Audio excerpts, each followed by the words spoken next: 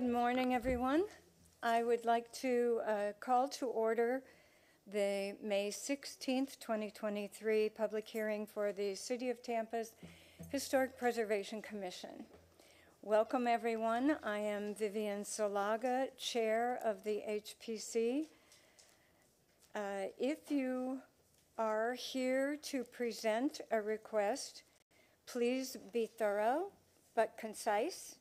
At the microphone, identify yourself and your relationship to the project before you begin your presentation.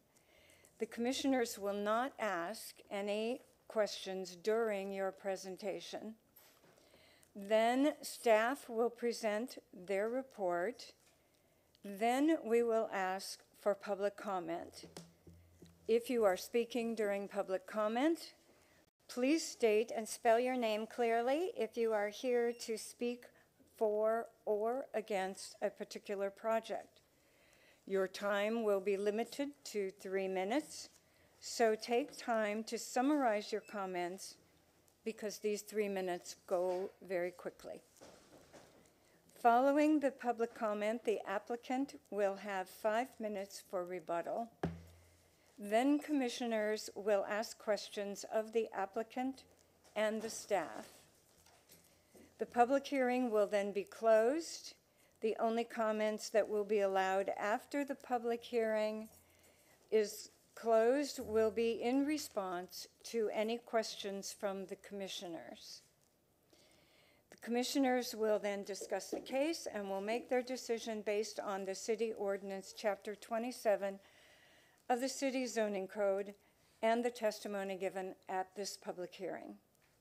The HPC can only act on items that are within our specific jurisdictional responsibility. Owners and agents are independently responsible to obtain any appropriate permits and/or approvals. If you haven't already done so, please silence your cell phones. Um, I will now ask the commissioners to introduce themselves, beginning on my far right. Tom Buckon, University of South Susan Swift, Boggs Engineering and Boggs Design Partners. Dominique Cobb, Vice Chair, Urban Planner. Carrie Ann Canch. Um, Missy Shoecraft, um, preservationist. With us today from the preservation staff is Dennis Fernandez, Elaine Lund, Alexis Goodman, Guzman, sorry, and our legal counsel, counsel Kamaria Pettis Mackle. We have the um, minutes of the previous meeting uh, that were forwarded to us and are in our packet. Are there any comments or questions regarding those minutes? Hearing none, may I have a motion to approve? I make a motion to approve the March twenty-first, twenty twenty-three minutes. I second. All those in favor signify by aye. Aye. Opposed, same sign. Minutes are approved. We have announcements, please. Good morning, Commissioner Dennis Fernandez, Architecture Review and Historic Preservation Manager. Welcome to today's public hearing and welcome to uh, our applicants and to the public who have joined us.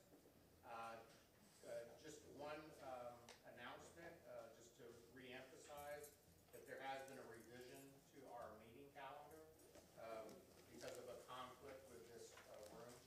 Uh, We did have to adjust our meeting in July. Uh, It is uh, now uh, scheduled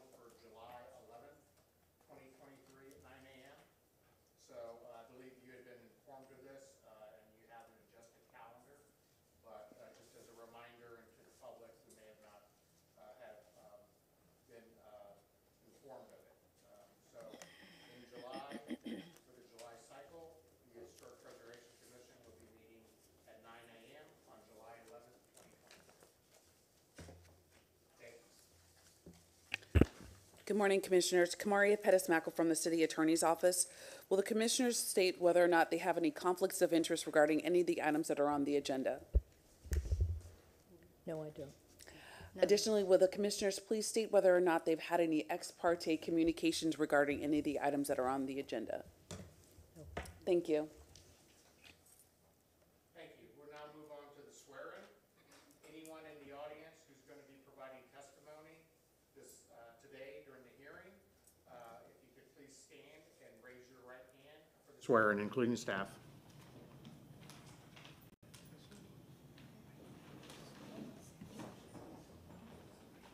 solemnly swear or affirm that the testimony you'll be providing today is the truth, the whole truth, and nothing but the truth? I do. You may be seated.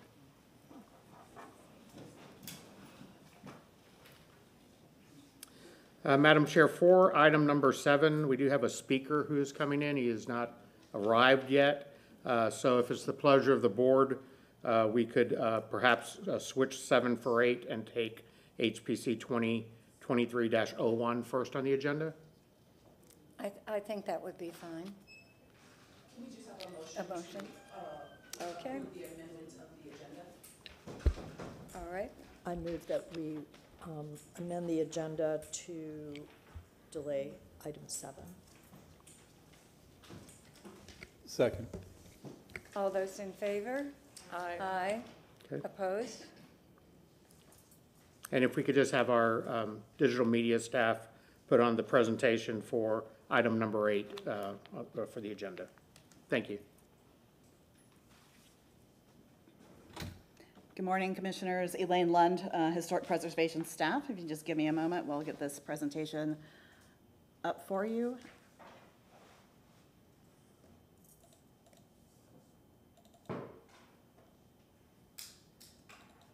So this item this morning um, for HPC 2023-01 is the redesignation of a contributing structure in the Hyde Park Historic District. I think the presentation is ready now. Thank you. Um, The structure was uh, originally located at 815 South Rome Avenue and was moved within the Hyde Park Historic District to 910 South Fremont Avenue. This was a house that was built circa 1923 in the, excuse me, um, Dutch colonial revival architectural style. You're here this morning under um, the, what our code provides for your powers and duties to review designations of contributing status and changes in status when requested to do so by an applicant. We have received an application um, from the property owner to change the status back to contributing in this case. So therefore, we look at section twenty-seven two sixty-one, which um, uh, gives us the criteria to review such applications. And this criteria to be applied by you in approving or- or not approving the application um, to change the contributing status is set forth under National Register Bulletin Number 15. So I'll be going over those criteria as we move through the presentation. So showing you the, here is the, um, the 1931 Sanborn map of this section of the Hyde Park Historic District. The 815 South Rome Avenue is um, outlined in green for you, and it was relocated to the site that's shown outlined in red at 910 South Fremont Avenue. You can see that at that time, uh, that was a a vacant lot uh, on the site on Fremont. This is the 2022 aerial map, again with the, um, the original site at 815 South Rome shown in green and the relocation site at 910 Fremont shown in red. Um, At this time, there was a building, uh, two buildings actually located on the site, a non-contributing primary structure and a contributing accessory structure, which is a little unusual. But um, the ARC reviewed this application and did uh, make the approval to relocate this, um, this building and to demolish the existing non-contributing primary structure on the site while retaining the uh, contributing accessory structure. So this map shows um, where these buildings are located within the Hyde Park Historic District.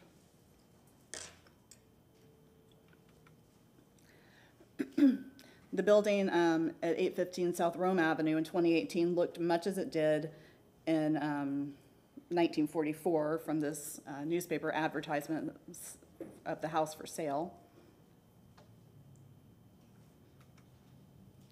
The house was relocated in 2021. Um, Here you're seeing parts of it as it was taken apart in uh, multiple pieces to be moved around the corner and down the street. Um, The picture on the right shows the building after it had been uh, reassembled on site, but you can still see the, um, sort of the lines in the building from where it was cut up into different, different pieces to be moved. On the um, pictures on this slide, we're seeing the house as it was being rehabilitated in 2021 on the bottom left, and then on the right, and how it looked following the rehabilitation in 2023. This is the um, existing accessory structure that was on site. This building was, in fact, um, raised to allow an increase in the first floor interior ceiling height, and a one-story garage bay addition was added to its um, south side there, and you can see that in the picture on the right.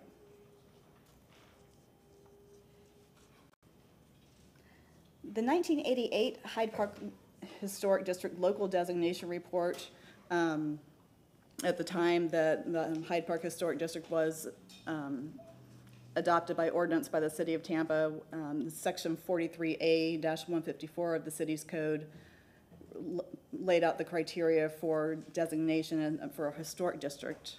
And it's, um, the period of significance needed to be greater than 50 years. So at that time, um, the period of significance for the historic district was found to be 1886 to 1933. The um, historic district met criterion one, that its character was, um, had a geographically definable area possessing a significant concentrations of buildings that are well-designed and other structures, sites, and objects united by past events or by a plan or physical development.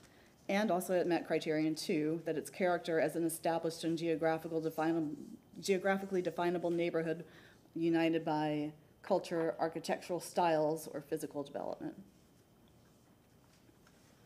In the 1985 Hyde Park Historic District National Register of Places report, um, has very similar criteria, however, uh, you know, worded differently for the, uh, the National Register rather than for the local designation. Uh, Maintained the same period of significance, 1886 to 1933. Um, National Register Criterion B was found to be met, that there were associations with the lives of persons important in our past.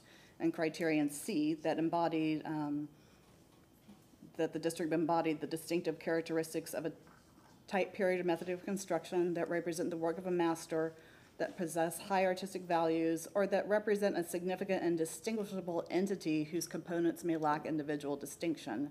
And it's that last part there that really um, refers to historic districts. And then it was found to be significant under those criteria in the areas of architecture, community planning, development, and settlement.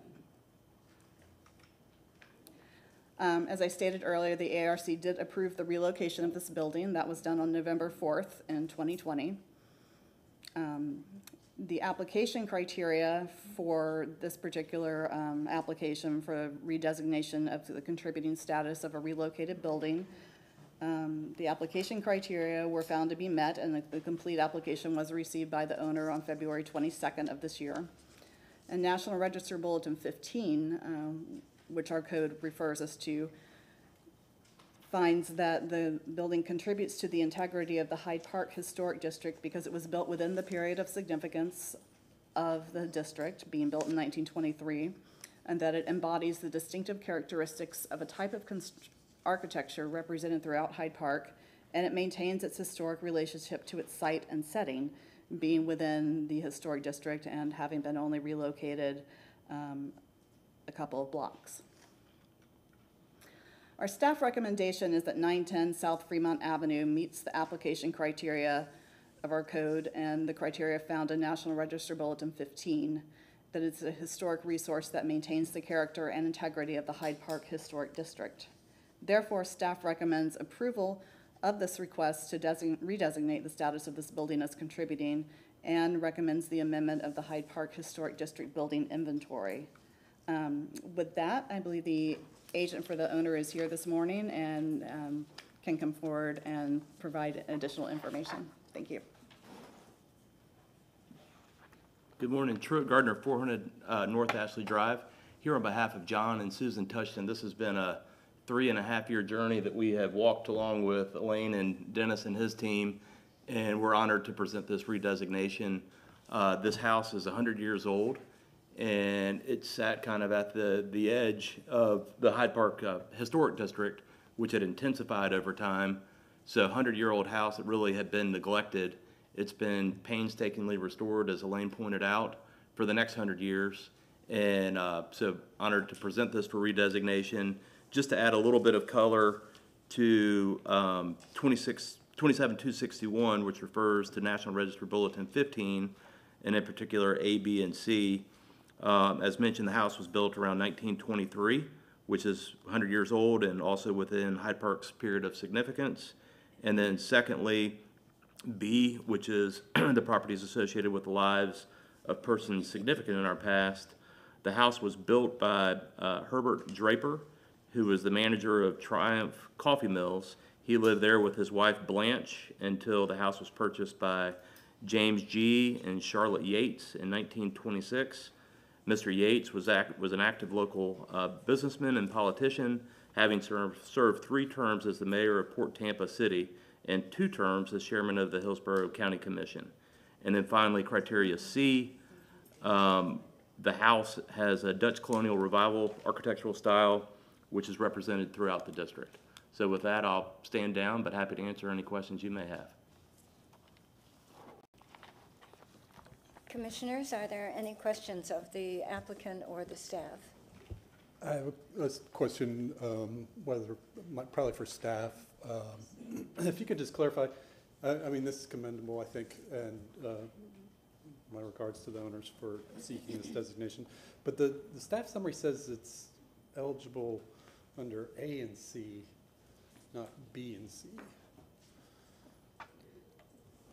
The, um, usually when we look at our designation criteria, we're looking for, um, how it relates to under National Register Bulletin fifteen for this, so that gets to be a little, um, different between the, what the, between, the area of significance for the district overall, where, That, um, that's A is the whole district. yes. It was previously eligible under B for people important in the past, but we're dropping. Well, your we're not, recognition we're not dropping it for the, the district, it's just for the individual structure.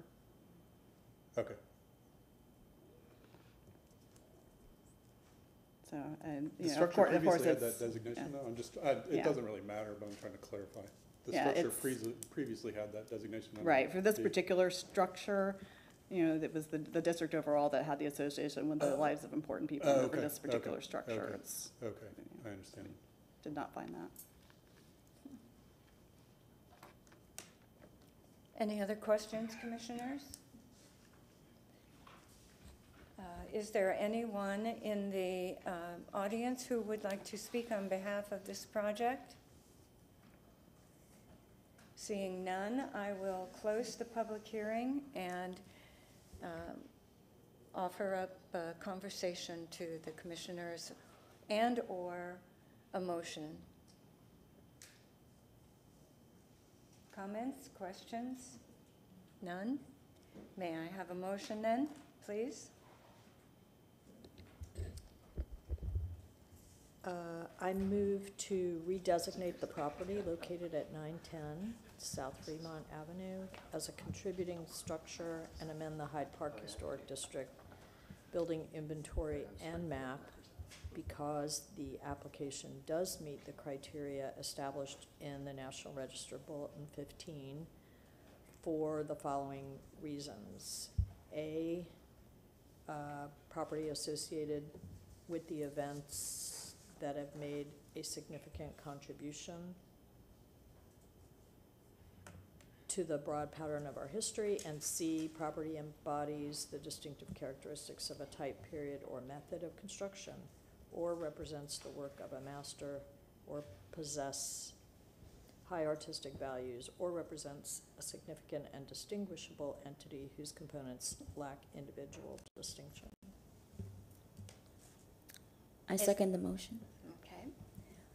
Uh, All those in favor signify aye. Aye. Opposed, same sign. Motion passes unanimously. Thank you, congratulations.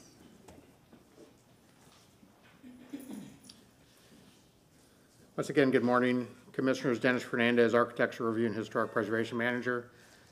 During our um, last uh, hearing on uh, March the 21st, there was some discussion about uh, the uh, local landmark structure, the Jackson House, which is located at uh, 851 East Zack Street. And there was a request for an update on uh, preservation efforts for that particular structure. I was just going to begin, prior to the update, just with a a little orientation for individuals who may not be as familiar with that particular structure. I could go to, um, here we go, the PowerPoint for a moment. So the Jackson House is situated uh, downtown on uh, 851 Zack Street. Uh, That is uh, just uh, off of Nebraska Avenue. Uh, You can see the proximity to the Tampa Union Station. It's just off to the east from the Jackson House. Jackson House was a segregation-era boarding house, and much of its occupancy resulted from the Jim Crow laws that were in place during uh, its period, and the fact that uh, the segregated uh, residency for occupants had to occur between racial divides, and this particular um, boarding house catered to the black community at that time. Just some facts, it was established in 1899 by uh, Moses Jackson, and it remained uh, in the uh, Jackson family, the Jackson Robinson family, uh, until it was uh, eventually transferred to the Jackson House Foundation in 2014, um, of which the Robinson family remains active, the Jackson Robinson family remains active on that particular foundation. Uh, was designated as a a City of Tampa local landmark in 2004, and it was listed on the National Register of Historic Places in 2007 for uh, ethnic her- uh, heritage for the uh, black uh, history of the city.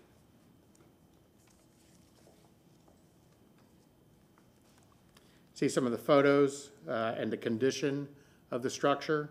In recent years, the, uh, the house has fallen into disrepair.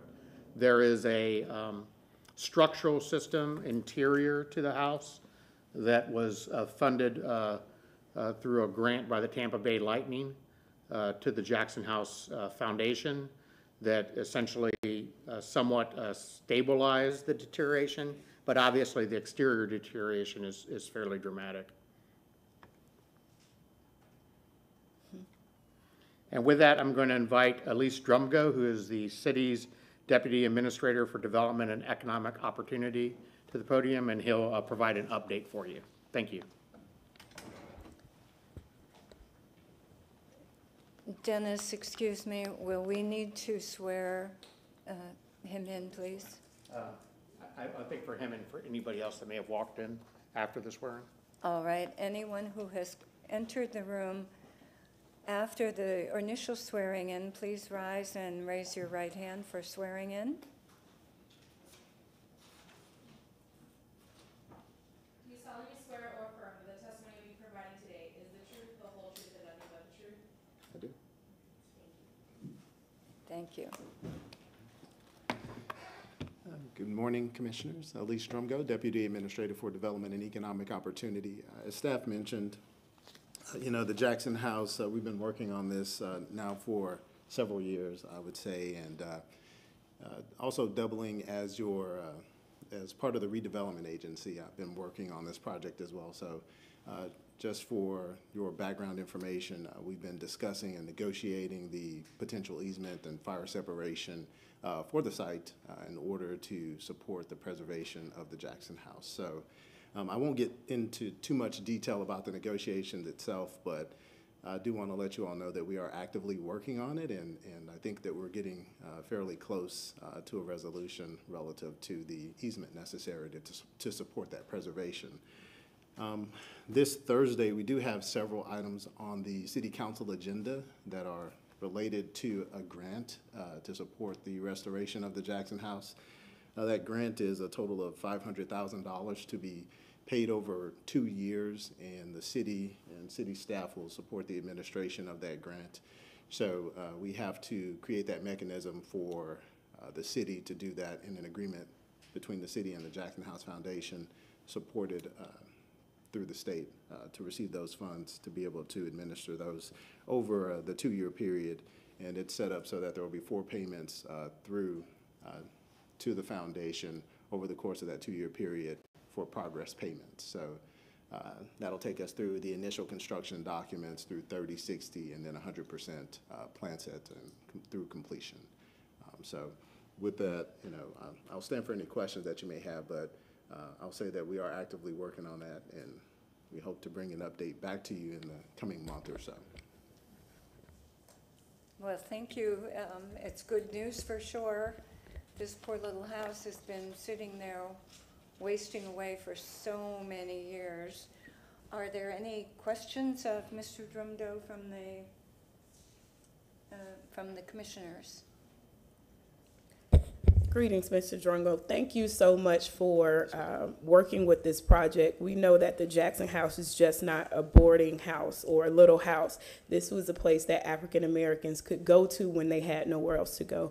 So I'm excited that the city has uh, come together with funds to uh, hopefully get this project restored as quickly as possible. Um, looking at the pictures that staff showed, um, it's great to see what has happened, but the current condition of the house, I'm, I'm scared. You know, storm season is, hurricane season is very close.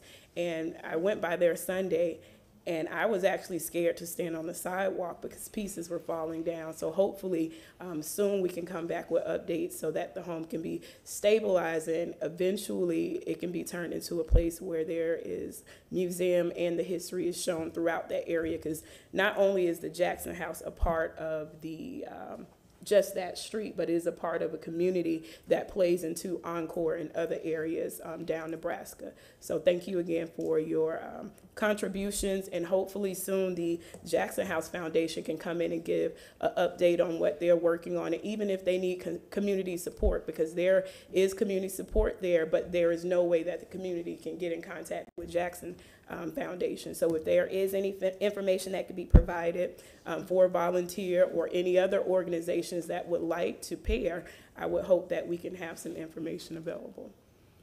Uh, Thank you. And I, I hear you loud and clear. It sounds like you do want to hear from the foundation itself as well. And so, you know, as we've negotiated between the private property owner and the foundation, um, you know, our goal towards the end of it, once we do reach that resolution, is to bring back the update and then also to appropriately, you know, share via the press, like what we, uh, how we intend to get to the end game on the preservation and what that timeline may be.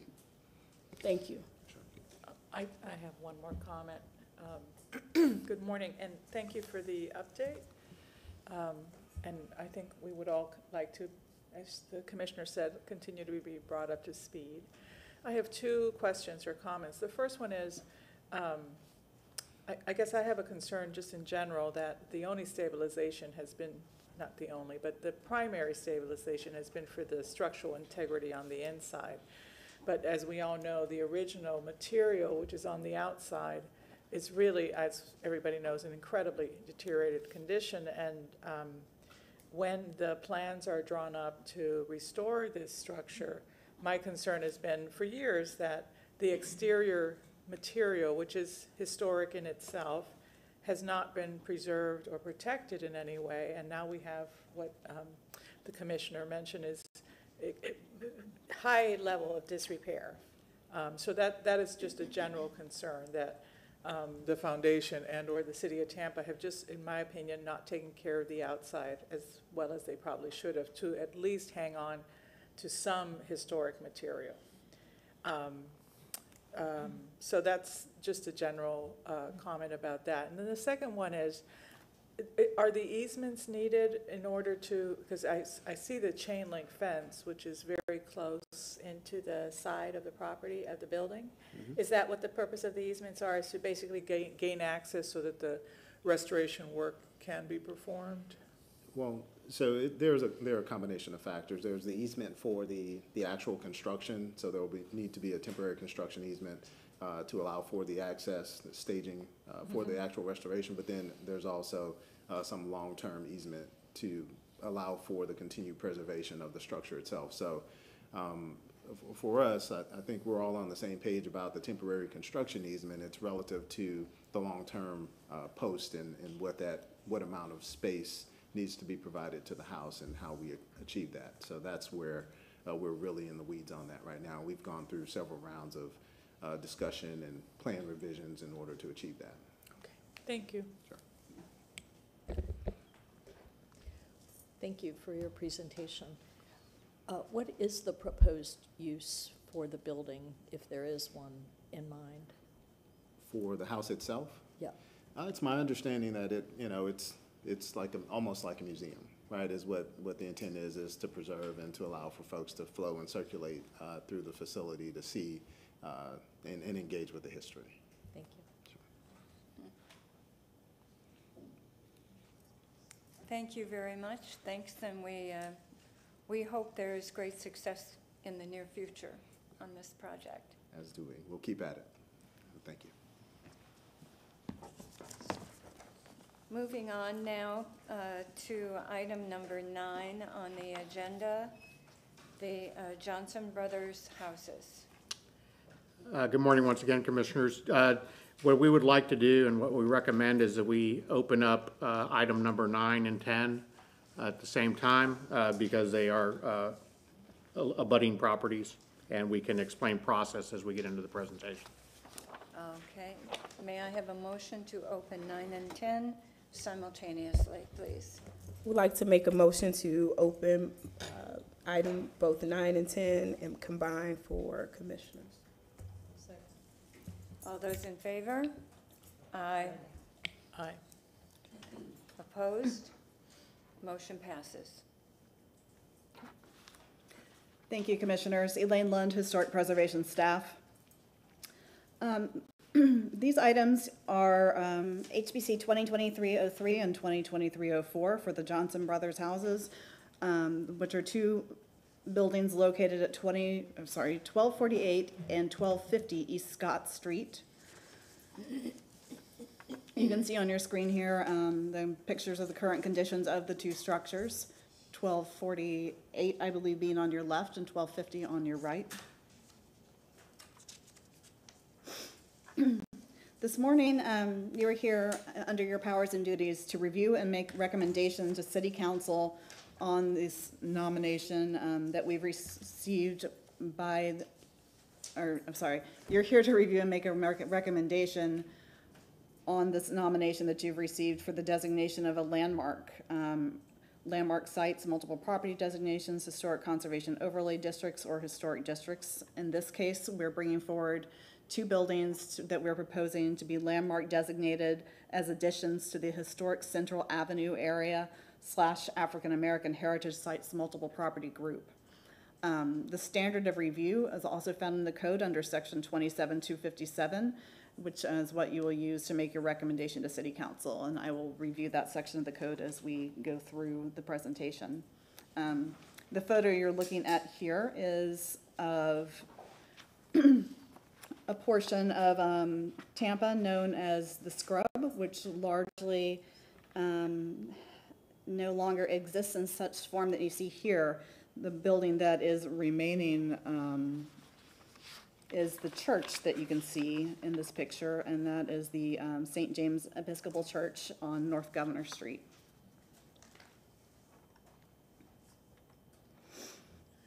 The historic Central Avenue area slash African-American Heritage Sites multiple property listing currently includes buildings that are um, substantial structures that were important in the daily life of um, this neighborhood and to Tampa's um, black community in the early part of the 20th century. Um, These were substantial structures made out of brick um, as opposed to the wood frame structures that surrounded them. Um, The uh, construction and their architectural styles represented the stability, permanence, and success of um, these institutions in the community. These were designated as a group, as um, a landmark group, multiple property listing in 2004. So today, we're looking at these two houses on East Scott Street. This is the current aerial map of the property. Um, They're located on the same um, parcel, um, same property parcel, and under the same ownership. Um, Currently, Open Space Acquisitions LLC, which, um, of which the Tampa Housing Authority is the, um, the sole member. These buildings, we are estimating were constructed around 1900. They first appear on the 1903 Sanborn Company map. Um, There's no prior Sanborn Company map that exists in this area before 1903, so this is the, um, it's not surprising that they show up on the 1903 map, as it's the first one available in the area at the time. Um, Clearly did not cover all of the scrub, and we can see on the later map, the 1915 one, that the area that was known as the scrub, which is um, this area south of, about south of K Street between Nebraska and um, between Central Avenue, which you don't see on this map, but you do see Governor on the west, and then um, Cass Street to the, uh, to the very south there, Zack and Cass Streets. Um, But you do see the density of the housing in this neighborhood. It There were a lot of um, smaller, tight wood frame houses, um, some larger houses that were possibly boarding houses or um, apartments, um, some wood frame churches in this area at that time. The, the, um, the brick churches were built generally a little bit later. And um, occasionally you'll see a small wood frame store or other sort of um, retail um, shop or a restaurant. Um, One of Tampa's um, largest early black neighborhoods, the Scrub, began in the late 19th century as a small settlement supplying houses for nearby lumber mill workers. It was on the outskirts of downtown Tampa, um, kind of far removed from the area that was you know, originally protected by the um, Fort Brooke. The conditions in the scrub were described as being pretty modest at best, and um, the wood frame structures were quick to deteriorate. Studies from the 1920s, um, such as the um, study of Negro life in Tampa by the Tampa Urban League, the Tampa Welfare League, and the YMCA, and the 1930s by the Federal Writers Projects, give us some glimpses of the daily life in this neighborhood. Um, the houses were described as tightly packed together. The streets were not paved, they were dirt roads. Um, you will see frequently uh, lines of laundry hanging in the streets for the um, women who took in washing for work. This was at a time when childcare was not uh, readily available, and especially for black families. Um, so, you know, women had to stay home to do any work to bring in extra income for their family. Excuse me. The um, Central Avenue Business District grew up along the edge, the western edge of the scrub. Um, at this time, state and local laws ensured that racial segregation was legally enforceable, um, ensuring that the black people in the city of Tampa could not attend white churches or schools or shop at their businesses, use their same public facilities, or even be buried in the same cemeteries. Um, some of the businesses that grew up along the edge of the scrub in this um, Central Avenue Business District were cigar companies, which provided employment. Um, businesses such as uh, the area's first um, black dentist office, a drugstore, um, which opened in 1913, the Gem Drugstore on Central Avenue, and Clara Frye's Hospital on Lamar Avenue. There also um, this was the area where several of the local um, black fraternities or fraternal organizations were born, including the Oddfellows Hall, Um, At that time, it was impossible for a group of um, African Americans to get a charter for many of the white fraternal organizations. So many of the um, black fraternal organizations were independent of, completely independent of the, uh, the white fraternal organizations. During the, uh, the 1920s land boom and in um, following years, Central Avenue and the business district surrounded it continued to thrive. Um, you see here a street shot of Central Avenue in the 1960s. Um, the Pyramid or Central Avenue Hotel is uh, the large three-story building in the distance there. Um, this particular structure was advertised in um, the Negro Blue Book. It was a well-known establishment in which people could stay when they um, were in the city of Tampa. Other um, businesses that grew up in this area were like the Central Life Insurance Company, um, which was founded by G.D. uh, Rogers. He was a very successful local entrepreneur. Um, Dr. Jacob White Sr., whose house we have listed as one of our locally designated uh, landmarks, had his doctor's office on Central and Scott. And, um, you know, the community succeeded, um, and its success provided a, um, a sense of community on, from which several organizations like the Tampa Urban League were founded. Um, the Harlem branch of the Tampa Library grew out of the same um, building as the Tampa Urban League on Marion Street. Um, the Helping Hand Day Nursery, as I mentioned earlier, childcare was an issue, so that was a um, organization that was founded through the Urban League to provide uh, daycare for you know young African American children who were too young for school. And the churches, as um, were previously mentioned, many of which had started out with uh, no structure, were being built um, in, in the brick and which showed their uh, success and permanence of the, um, not only the structures themselves, but also the congregations in the community.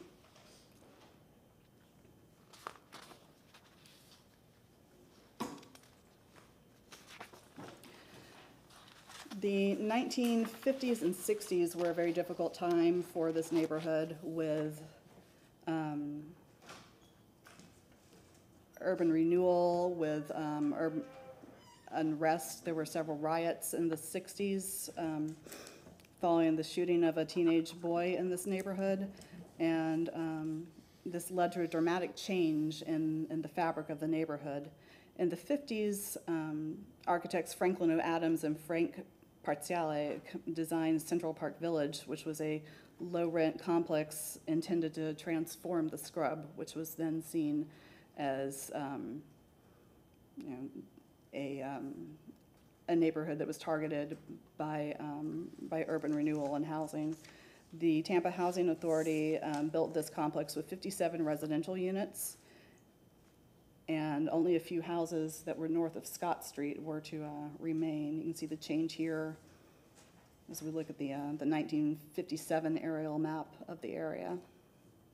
And the Johnson Brothers houses are still shown there in red, um, just north of, directly north of, you can see the, the barrack-style housing project there. Um, These two houses, um, interestingly, we um, find them listed in the 1950 US Census. Um, And one of them was occupied at the time by Johnny Johnson and his family. Uh, Mr. Johnson worked for a railroad company, and he lived with his wife, Luella, and a couple of lodgers that they had in the house. Um, The Johnson family continued, remained in the houses, uh, eventually purchasing them, and um, I believe remained in the, you know, owning the homes until the Tampa Housing Authority recently purchased the property. So today, um,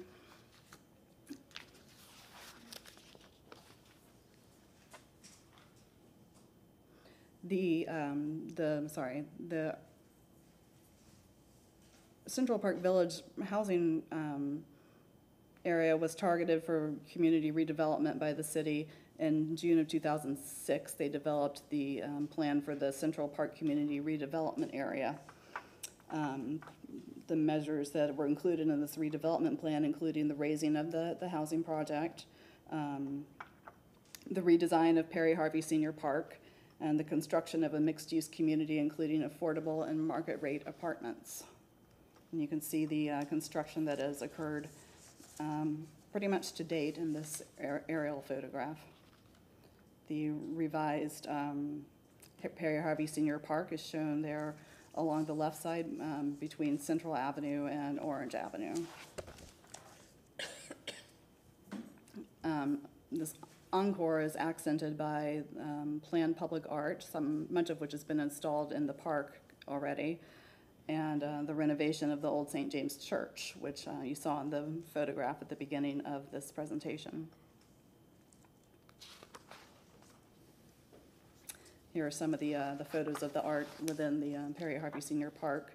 It's various um, representations, some of the life um, in the scrub and some of the murals, and I believe the mural on the, the bottom left.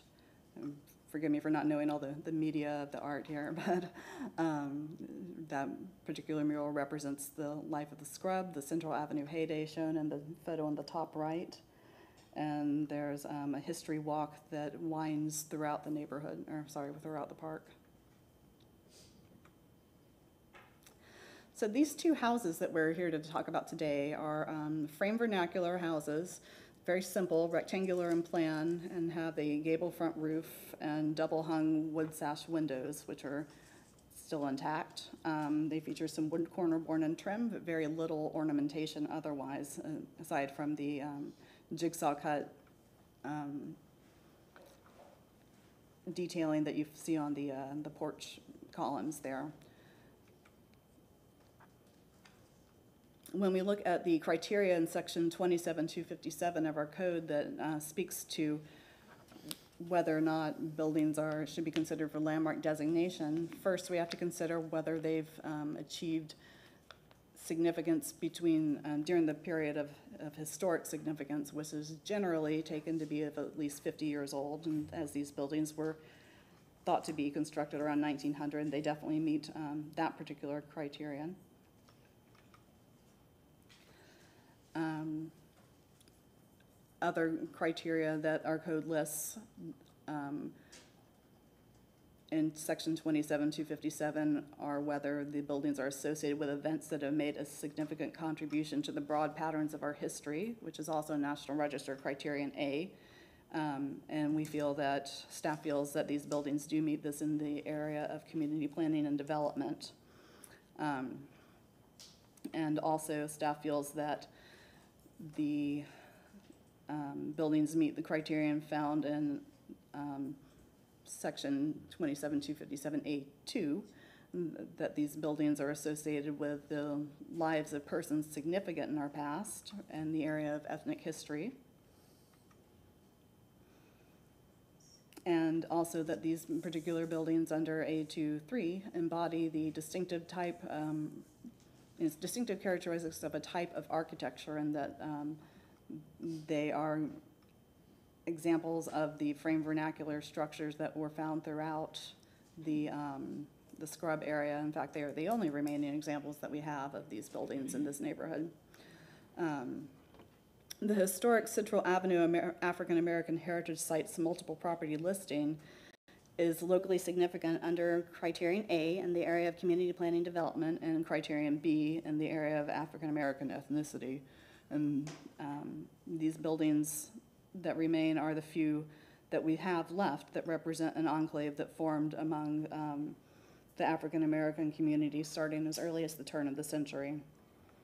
They also meet, um, as I stated, under criterion C here for the National Register, they are locally significant as they exemplify the way of life of a cohesive community that formed around the Central Avenue area. We received the application um, from the property owner in February of 2023. It was complete application, and public notice requirements for this hearing have been met.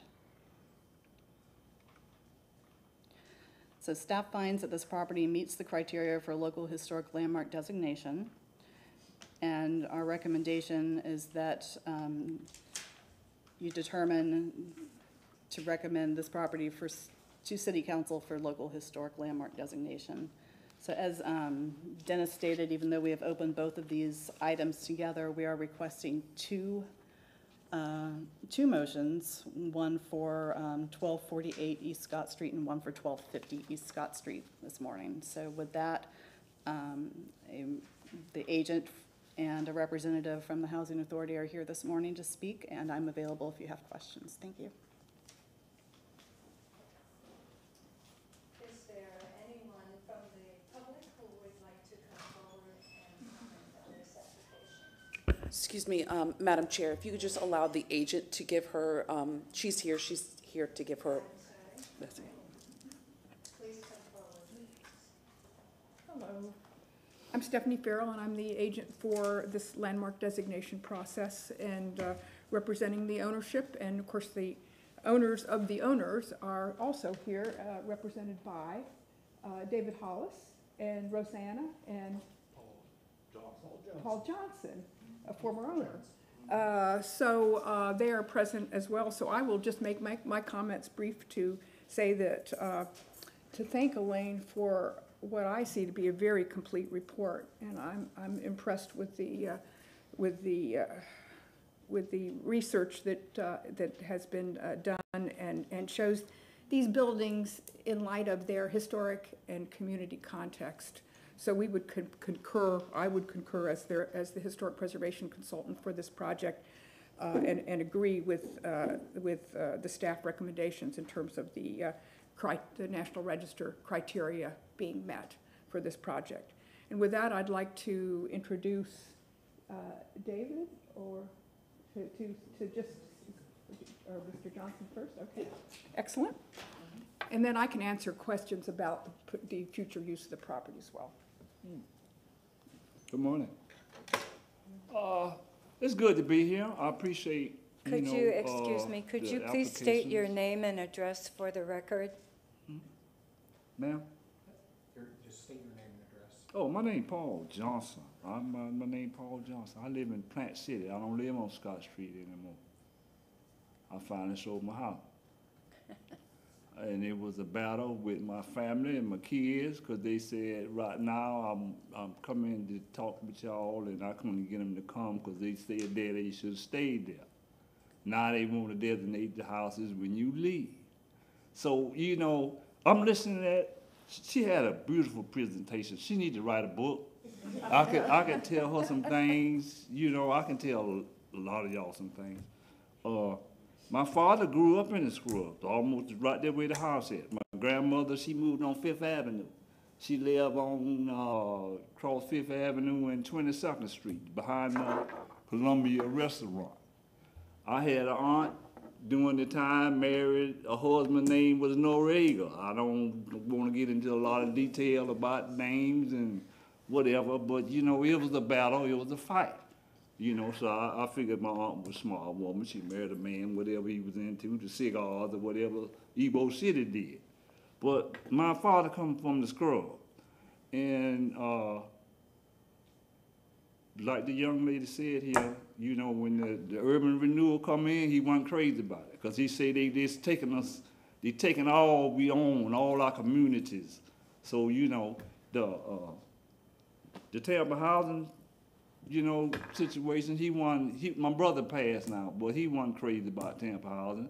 Cause he picked it up from my father, saying, well, they coming and they taking again. Cause my father went through this, you know? And, and he wasn't too keen of it. But, uh, Central Park, when they built them, they called them the projects. So he said they call them in the projects because they want to see, it's an experiment. Do you want to get out or do you want to stay there? You understand, some people come up in the project, they stayed forever. Some got out. I went to school with, uh, some people I won't name, but they doctors now, they lawyers. You know what I'm saying? I don't think they judges or nothing, but, you know, and I'm just listening at her about the area, and my father was lucky, I would say he was blessed to work with the railroad, because he made good money. You know, back then, the, uh, longshoremen, they was almost, if you black, that's top dollar job you can have. So he was a, a railroad man. He made good money. And I remember going to Harbor Island now. It wasn't Harbor Island, it was Seddon Island. I know y'all know your history. I hope some of you do, because I, I live in Tampa all my life. The young lady spoke, I'm listening. Y'all, did y'all know where the first St. Joseph Hospital was? Y'all knew where it's on Seventh Avenue before you get to Florida? Y'all knew that? I went there uh, it's just walking by. We couldn't go to the hospital, but it was nuns and priests. They was governed that hospital. You know, when I was a little boy, I come up and I went through the riots. The, the, the guy that got shot started the riots. I didn't witness it, but I was there. I was in the marching and the whatever, the crest. I mean, Tampa got a lot of history, and y'all going through it. And I'm gonna commend y'all. I could stand here and talk to you all day about a lot of things. But the lightning, I don't know if y'all know this neither, but down way the uh, Amalie Arena, there's a lot of black people back there. A lot of people, y'all knew that too, right? Okay? My father said, you know why they put us down here? Because when the hurricane season come, the, the river flood, we the one got to get out. Okay? If my brother was living here now, he'll say, y'all taking it back now. Before y'all put us down here, because y'all didn't want to live, scared of the water, the dangers, the hurricanes, the floods. You hear what I'm saying? And them houses was built up off the ground. My daddy said, if it flood, at least we got a chance, because you're not sitting on the ground. It made sense to me, you know? I grew up in that house 60-some years. and I don't care if the hurricane was coming or what was going on. I wasn't moving, because if it stood a hundred and some years, it's gonna be there longer than I live. My father gone, my mother gone. I'm the last of four children. So I appreciate y'all, I really do, and thank you very much for the opportunity.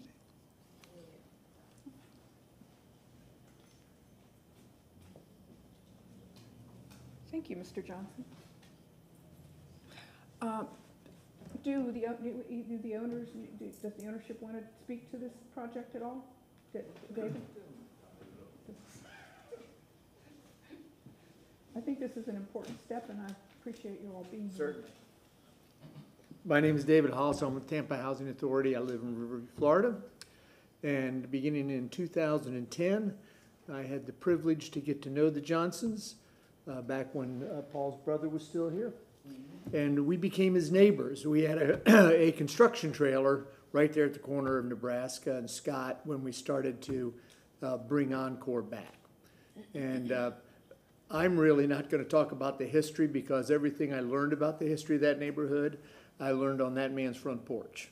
So, or, or actually hanging over the fence. So, uh, um, it was, it was just a privilege to actually meet some of the local history that we have to uh, maintain here in Tampa for people to know.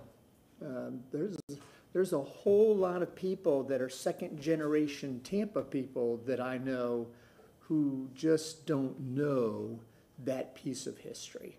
And it's an amazing piece of history. The Apollo Dance Club, the Joiners, uh, uh, the Cozy Corner, all that stuff that went on on Central Avenue. When we redeveloped Central Park Village and turned it into the Encore, the second act, because of the rich history and culture that took place in that entire area. Um, although the real Central Avenue kind of runs through the center of Perry Harvey Senior Park, we renamed our primary street there Ray Charles Boulevard and Central Avenue. Uh, also, uh, we named one of our streets Blanche Armwood, Hank Ballard and the Midnighters. So uh, we wanted to maintain that history by naming that stuff. We maintain the St. James Episcopal Church, and that's actually, uh, we just formed a partnership with the Tampa History Museum, and that building is now going to be, uh, we think Tampa's, we aim that it be Tampa's premier African-American cultural museum. So that history is important. The Johnson Brothers house is important. That the Johnson Brothers houses are the end of the scrub. There is no more scrub, and it needs to be maintained. So appreciate what you're doing. That was some great. I read it all, the uh, the history work you did, and uh, it was a great piece of work, and and we're pleased to be part of that. So we appreciate what we're all doing here today. Thank you.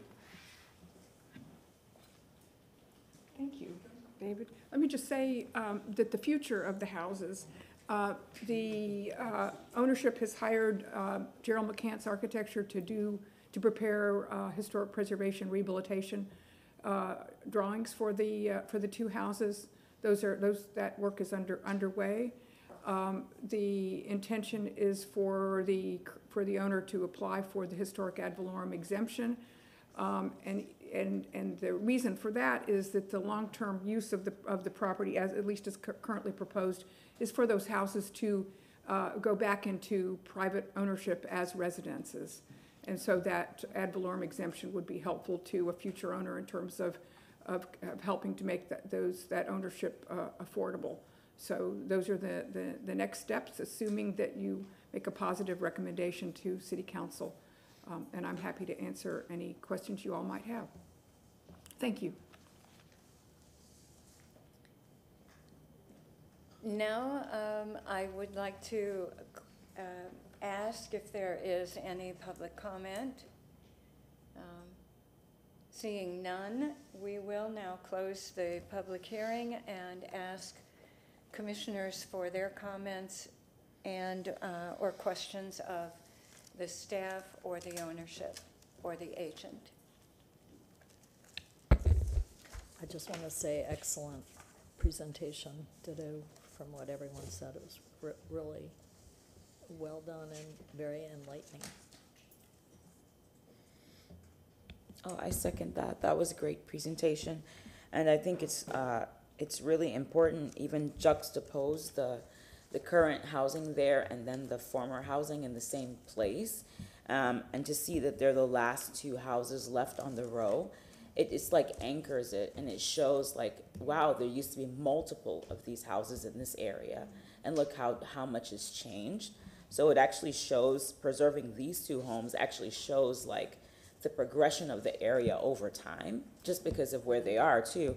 And I'm just, um, I'm super, uh, grateful that you guys chose to keep it without it being like, you know, erased and then there's no more at all whatsoever and there's no history there. We wouldn't know what was there before if it wasn't, you know, if we didn't, um, if you guys didn't take action. So just super grateful and thank you for the presentation.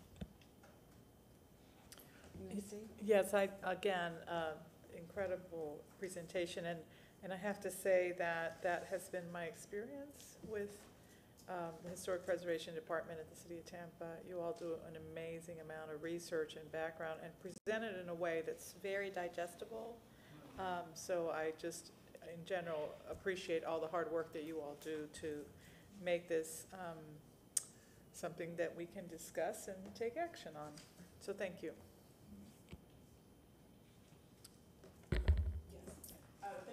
Your, your microphone's not on. Can you hear me now? Uh, Thank you for the presentation. Um, The Johnson Brother House uh, and that area means a lot to me. Adjacent from that property on Scott Street, my grandmother attends Mount Moriah. Um, And also on the weekend, I shop at the uh, local garden down at the other end of Scott Street that I'm so happy that some of the um, property has been exchanged to things that are of, of substance. Um, you know that area, um, it is still a housing area and those, um, type of things need to be intricated back into the area. So I'm, again, the Housing Authority, I've worked with you all before from process of actually being in housing and seeing what that area has looked like into what it is today. And for the, the Johnson House, to, uh, both of those homes to still be there in the shape that is in and to know that this will be put back into the community for housing, it's a great thing, especially with the housing crisis that Tampa is going through right now and for a use of low income. So I'm excited to see what those renderings would look like and to see, you know, this going back into a family and to be used again. And Mr. Johnson,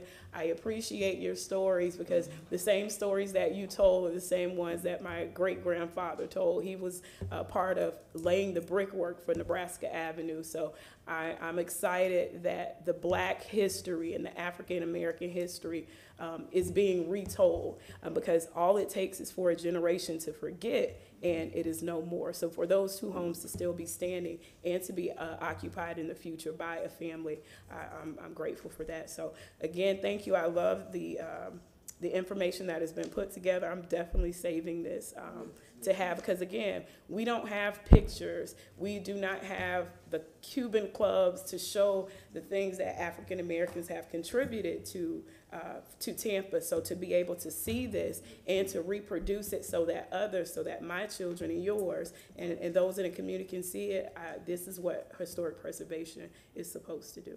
Yes, Um, ma'am, I, I appreciate, you. I got, I got twenty-two. Could you, could you please come up to the microphone to speak? Oh, I'm sorry, Oh, no. No, I'm sorry, I know I didn't, no, I was just telling her, Uh, I, We can continue after, but I would love to hear more of your no, stories. I just said I got twenty-two grandchildren. They need to see and they need to know. Cause if I don't tell them, they, they would never realize it. Cause like we saying about this racial turmoil, that, ke- that would keep down a lot of stuff to know where we come from and how far as we don't strive in the things we have accomplished. Thank That's you, why I said I appreciate it and I, I thank you again. thank you.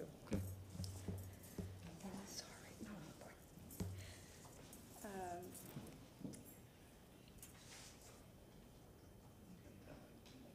Are you, we can do, See, I yeah, would- we, we need a motion at this point in time. So, um, Kamaria Pettis from the legal department. There, I understand that staff did the pre- presentation, correct. We need two motions for the different addresses. Thank you. Okay, I would like to make the first motion for uh, HPC 2023-04 for the property at 1250 East Scott Street. Move to recommend the uh, Tampa City Council approve the request to designate 1250 East Scott Street for local landmark designation as an addition to the historic Central Avenue African American Heritage Site Multiple Property Group because the application meets the criteria established in the City of Tampa Code, Section 27 two five seven for the following reasons. Um, For A, the building, site, structure, object, or district, do I have to go through each? Okay. A, B, and C? Uh, Maria Pettis Mackle from the city attorney's office. I've highlighted the code section. Um, it's your, um, role to determine what criteria or what criteria the application meets. So as established in code section, um, twenty-seven two fifty-seven subsection A one, that's one aspect.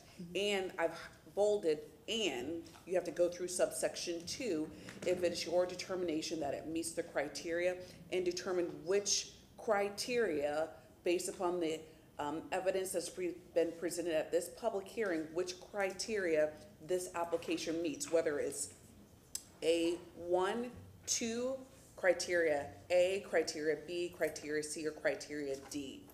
Okay, okay. Thank you for clarification. if I just may add to that, if you refer to the staff report, page two, under staff assessment and recommendations, I know that Elaine went through that pretty quick, but the third bullet point There we go. uh, summarizes what the recommendations of the staff were.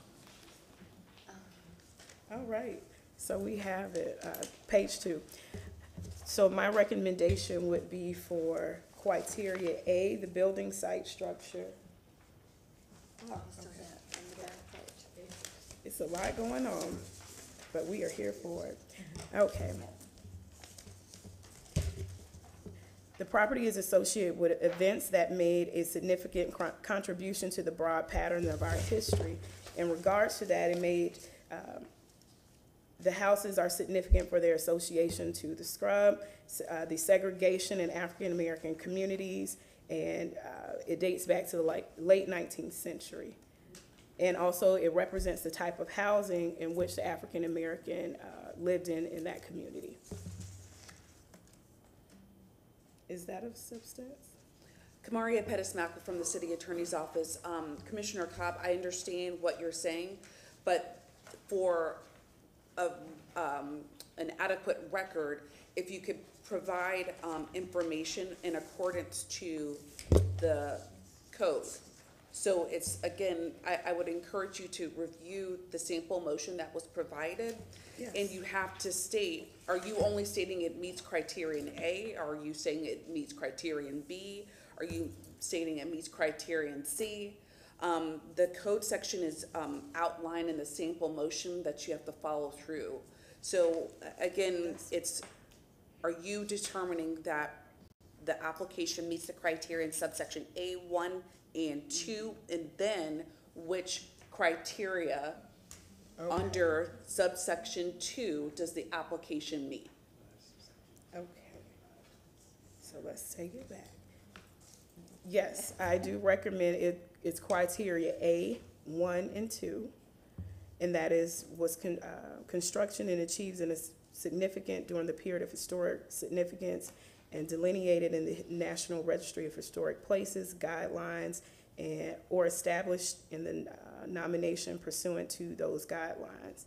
And section two has a quality of significance in American, state, or local uh, history, architect, archaeology, engineering, and culture, which is presented in districts, sites, buildings, structures, and objects that possess integrity of location, design, settings, material, workmanship, feelings, and association. That is criteria A, criteria B, and criteria C. Is that sufficient? You're saying that it meets criterion A, B, and C? That is correct. May I have a second? um, motion? Second. There is a motion and a second on the floor. Um, All those in favor signify by saying aye. Aye. Opposed, same sign. Motion passes unanimously. Now, we need a um, motion for the second property, please, at 1248 East Scott Street. A similar type of extended motion, perhaps. And I, Okay. and I, I apologize, on that sample motion, the address is incorrect, it's twelve forty-eight. Okay, and I state the address in the motion. right? Yes, ma'am. Okay, I'd like to make a motion to accept, um, what is it? To, here to recommend to city council. Okay, I make a motion to, uh, recommend to city account, to city council to approve the request to designate, um, twelve fifty East. Twelve forty-eight. 1248. Twelve forty-eight, sorry. Twelve forty-eight. Got it. Um, East Scott Street for local, um, landmark designation as an addition to the historic Central Avenue area, African American Heritage Sites Multiple Property Group because the application meets the criteria established in the City of Tampa Code, Section two two five seven, for the following reasons. Um, That's section 27 dash, not 2. Oh, okay, twenty-seven dash two five seven? Yeah. Okay, um, for the following reasons. A, the building site, structure, object, or district, one, uh, was constructed or achieved its significance during the period of historic significance as delineated in the National Registry for Historic Places Guidelines or as, as established in the nomination pursuant to those guidelines. And two, um, has a quality of significance in America or in American state or local history, architecture, archaeology, engineering, and culture, which is present um, in district sites, buildings, structures, and objects that possess integrity of location, design, setting, material, workmanship, feeling, and association. Um, A, criterion A, uh, that are associated with events that have made a significant contribution to the broad patterns of our history, otherwise known in criterion A in the National Registry criteria. Um, criterion B, that are associated with the lives of persons significant in our past. um, and criterion C that embody the distinctive characteristics of a type, period, or method of construction or the, that represent the work of a master or that possess high artistic values or that represent a significant and distinguishable entity whose uh, components may lack individual dis- distinction. So I'm recommending it under these criteria. I second the motion. Uh, All those in favor of the motion? Aye. Opposed, same sign.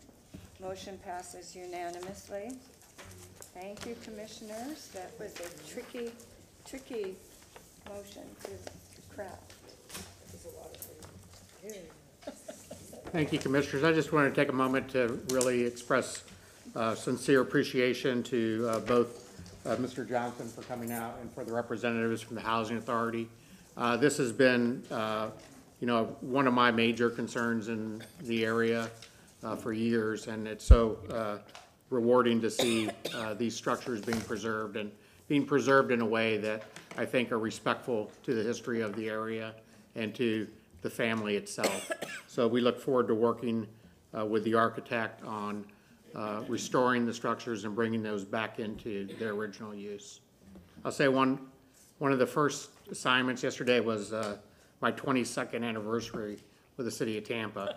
And uh, so, one of the first, thank you. You're historic. Uh, I, I am there. Uh, One of the first things I was charged with doing was researching um, Central Avenue and Perry Harvey Park for our division. And I was, uh, barely kind of knew my way around the office at that time. And um, they told me that there was a, an area where Perry Harvey Park was that was a community, and I had never heard about this. And, and I started to do research and uh, started to do pictorial research and kind of started coming across the, the pictures of what Central Avenue was, and I was astonished. And I went out to the site and I stood there, and one of the most memorable parts of that uh, time was that I, I had no, I could not determine a perspective on where the area was because it was totally gone. A lot of times I try to find a landmark and position myself in a photo, kind of to experience what that was back in the day, and, and it was gone. And, and, and started to kind of get into the research more and talk to my family members that were from Tampa. I'm from Tampa.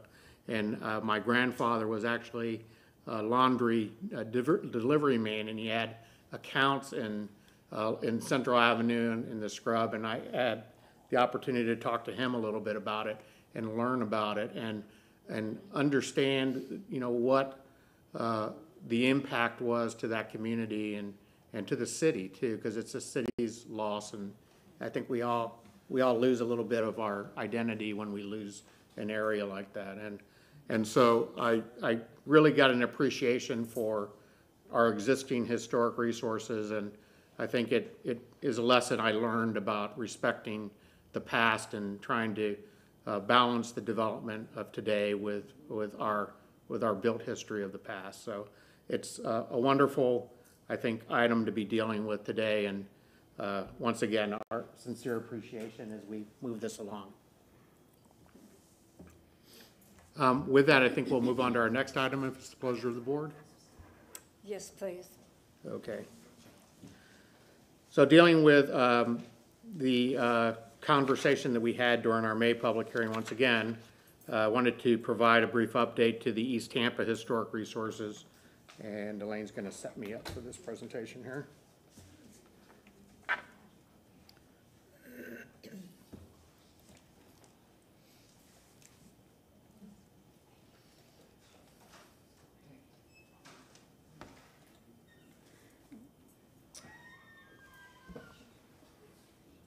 So during our, during our previous uh, hearing, there was uh, quite a bit of discussion about the East Tampa neighborhood and about identifying and moving towards some type of preservation inis- initiative in, in that area to uh, both uh, celebrate and uh, recognize and protect the uh, historic resources that exist there.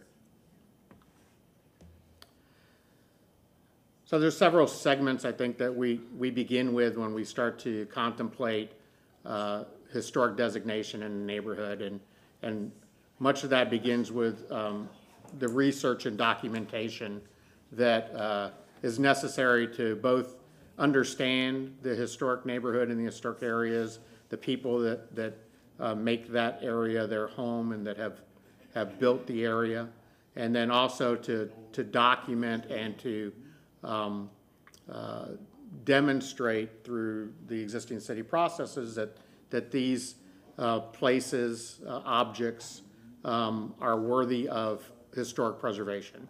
And so as you saw with Elaine's previous pres- presentation, there's an awful lot of research that goes into um, a particular subject before we're able to bring it back to you and understanding the people, the places, and the events of that area.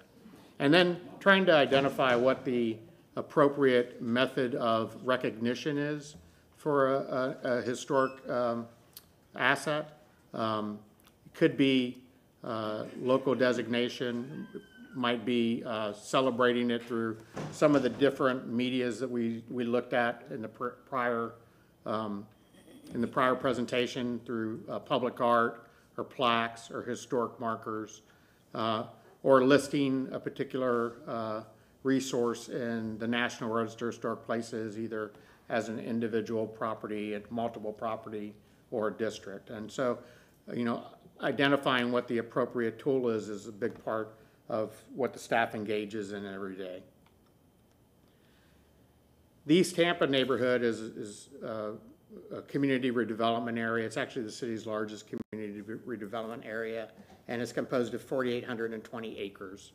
Uh, There are um, a number of uh, different uh, districts and uh, both local and national. They're in the proximity of the neighborhood or within. Um, Just to kind of clean that up a little bit, this map kind of is is helpful in identifying.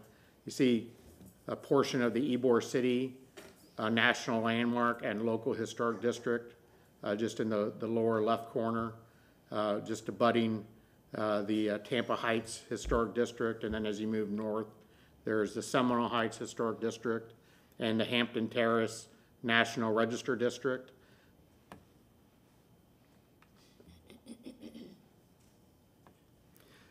So much of what we've been engaged in, uh, really prior to the previous meeting, but since the previous meeting, is reviewing existing inventories of the area, identifying prior surveys or known historic resources. Um, That often helps us to understand other resources that may be in proximity uh, or that may have not been, they may have been identified, but there, there really hasn't been much action taken on them. Uh, We look for uh, histories, both written and oral, that may have been conducted in the area. Of course, photographs are a big, are very helpful. Um, And then uh, individuals uh, to interview, like uh, Mr. Johnson, I know we, we just grabbed his number before he went out, so uh, that's al- always very, very helpful. And, and, and very appreciative for people that share their time with us.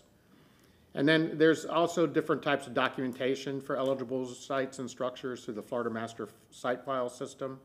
Um, Photography, narratives, and statements of significance are also, also included in some of these uh, documents that uh, really, you know, give us the basis for beginning uh, further research. You can see some of, you know, what we've assembled so far. I'd mentioned the districts. There's also some local landmark structures that are, are identified or are properties listed on the National Register. Um, you know, this is an area I think that uh, we we hopefully will be able to identify more. There's there's not an extreme amount of focus that has been played in this area other than uh, federally funded projects that have really been, uh, you know, case-specific, for instance, the expansion of 275 or the expansion of Interstate 4, where there were studies done uh, under uh, the Section 106 process, or perhaps in a Section 106 process where there's another potential impact to historic resources. Like you see in some of these illustrations, there may be um, national uh, historic district um, eligibility determinations based on Section 106 processes, cultural resource assessment surveys uh, that may have been uh, conducted uh, in accordance with Section 106. That could be for roadway expansions and potential impacts that might be happening because of that, like along 22nd Street corridor, or could be uh, the introduction of cell phone towers that uh, there's required to go through a Section 106 process. Those are the, the radiuses that you see uh, on, on these maps. And then kind of turning to some of the, some of the resources that have been uh, identified in these areas. Uh, There's structures that uh, do have Florida master site files. Those are documents that are recorded with the Division of Historic Resources and that really uh, delineate a particular structure and its potential eligibility for listing. Um, And then there's also uh, properties that are potentially eligible that have been identified through some of these studies but have not been locally or nationally designated. So the determination of eligibility for some of the Section 106 um, investigations is, is adequate to uh, uh, respond mitig- with mitigation from, you know, the particular project. It's not necessary to move it towards an actual designation. It it essentially receives the protection if it's eligible.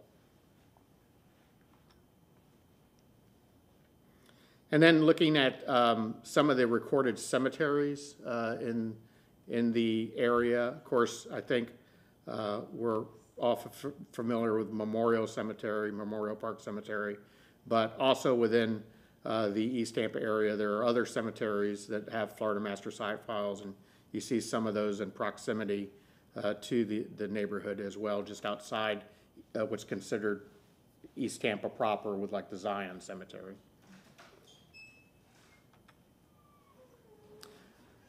So under um, the preservation uh, umbrella, uh, there's obviously different types of uh, uh, designations or listings. Uh, The National Register of Historic Places really is a tool of uh, recognition and, and commemoration.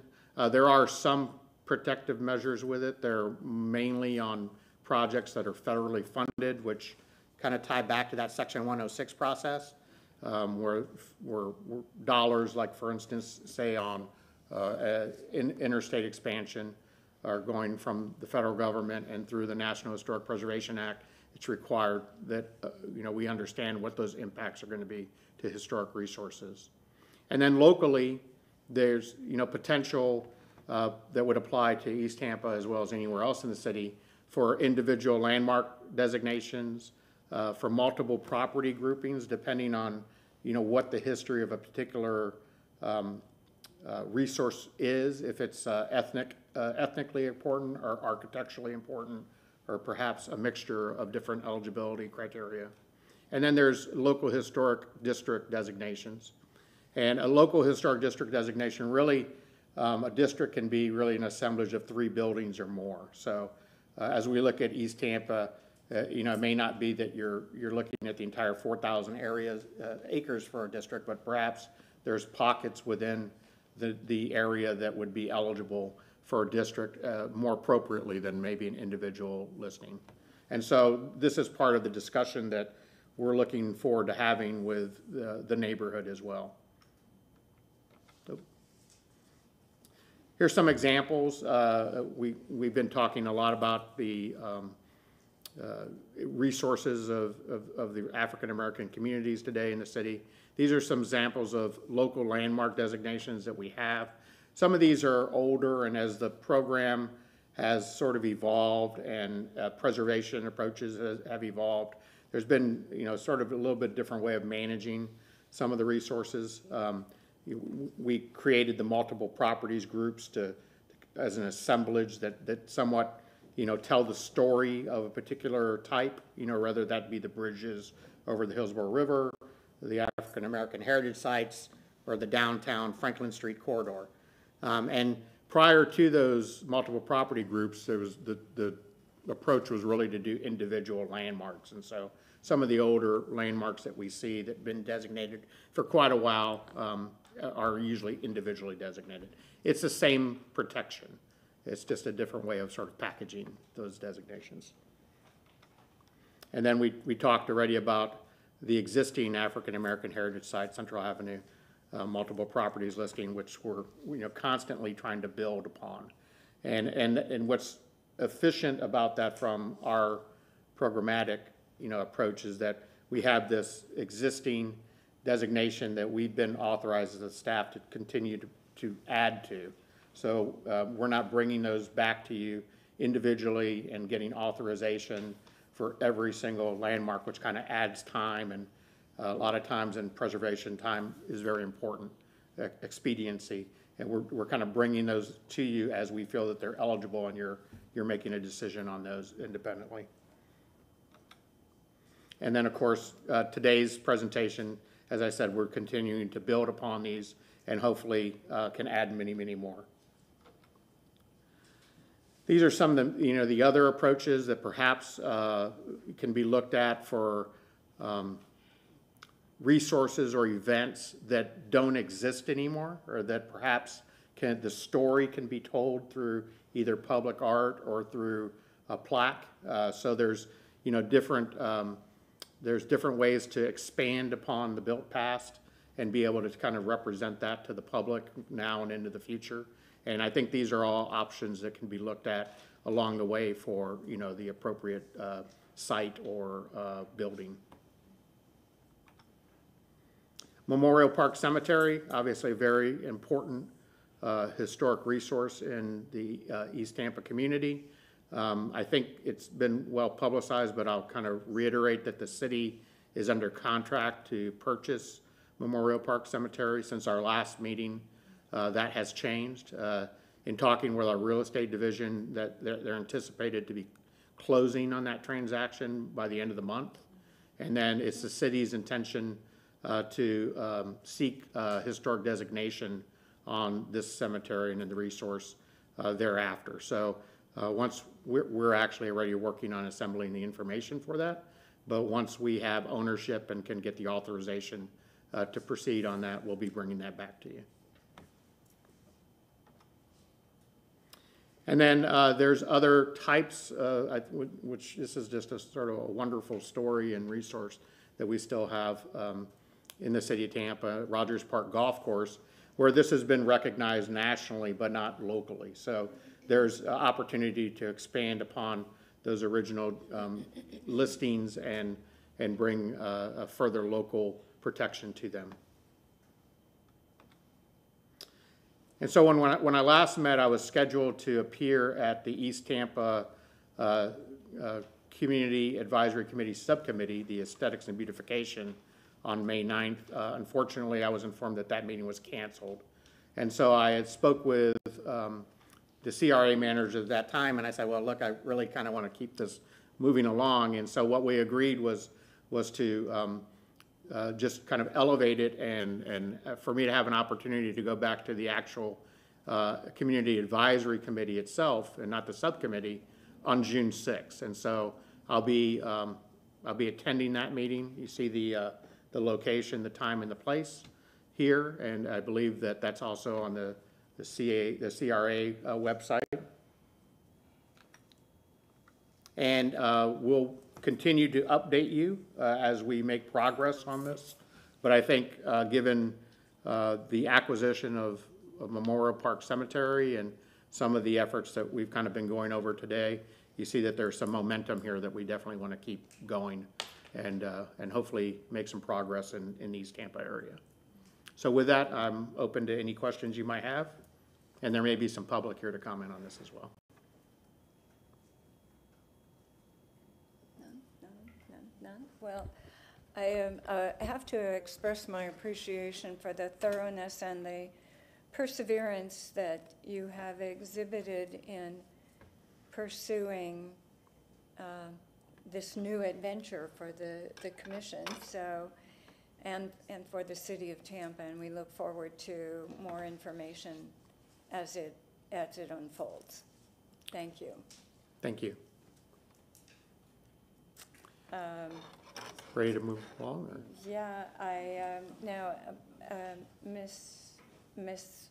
Pettis Mackle, is now uh, an appropriate time to uh, ask for public comment?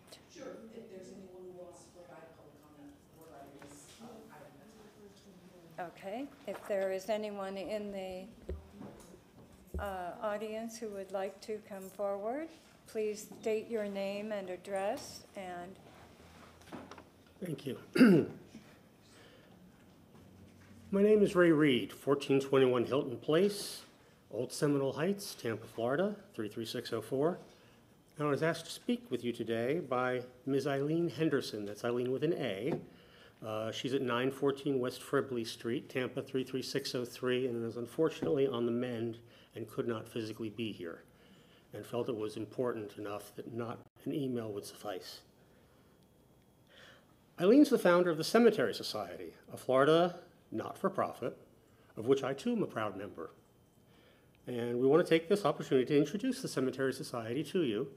We would like to work with the commission, staff, historians, anyone, um, all things cemetery here in the city of Tampa. We're an ever-growing group of Tampa area residents dedicated to the beautification, education, restoration, and preservation of Tampa's historic cemeteries. We came into being after spearheading the campaign. Anyone remember Save Woodlawn Cemetery? Against a developer wanting to build on Woodlawn Cemetery property. That campaign met with success when Tampa City Council voted unanimously not to rezone the property, so developers would not be able to build upon established cemetery lands. We're also the group that sounded the alarm to the purchase of the Memorial Park Cemetery by a property flipper.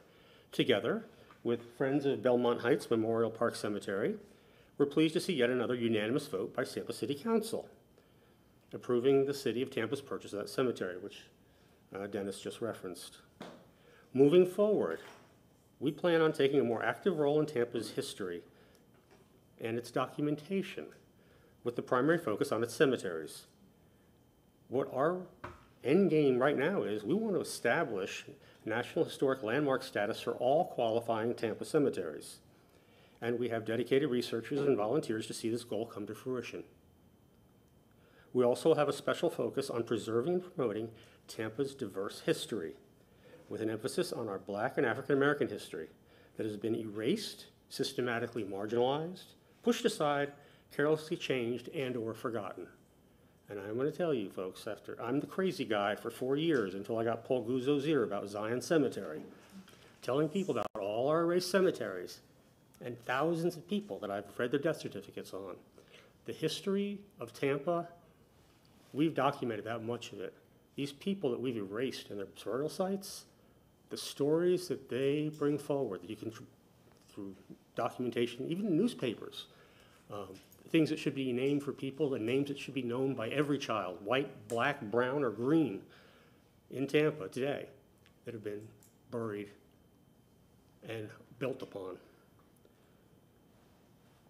We look forward to a positive working relationship with this commission, current and future administration and staff within the city of Tampa.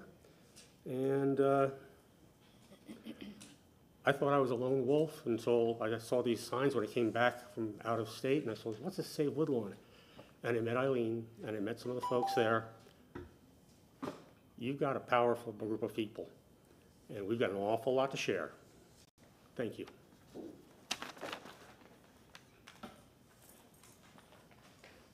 Hello, uh, my name's Hallie Reed. I live at 2059 Ronald Circle in Seffner.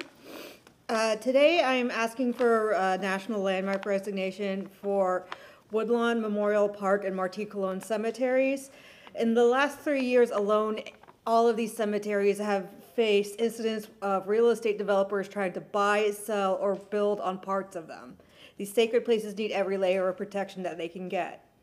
Personally, I've done extensive research into the Potter's Field at Woodlawn and the, the number of burials at Memorial Park. Since its designation in 1895, the Potter's Field at Woodlawn has changed locations and gone through several expansions. There are about 3,000 people buried at the Potter's Field. And I believe burials were conducted in several different locations at different times, with sec- sections segregated by race and by adults and infants. but I don't know where these sections are. There also remains the issue of a unique designated in 1900 for black burials that has never been fully identified or resolved. Regarding Memorial Park, while it's understood that there are no more open plots remaining for sale, the exact number of burials there is unknown. Last summer, I tried to document as many burials as I could using publicly available resources. Using death certificates from 1920 to 1939 on FamilySearch.com and obituaries scanned from the Florida Sentinel Bulletin archives at the C. Blythe Andrews Jr. Library, I documented about 15,000 burials.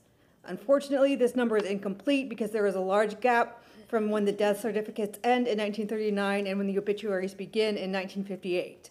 I have no way of counting the burials from then. However, I can make an estimate, and I believe the total number of burials at Memorial is close to 20,000. In both of these cemeteries, I would like to request a ground penetrating radar search to help answer these questions. Thank you.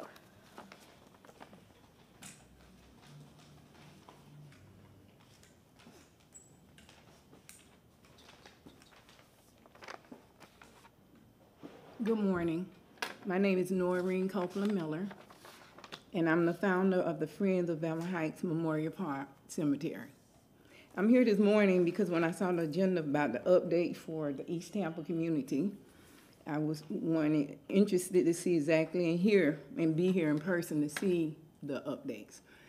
And I'm glad that the cemetery, Memorial Park Cemetery, as they said, was there. And as I listened to that, and we look at the demographics, as we continue to say East Tampa, remember it's Belmont Heights Memorial Park Cemetery.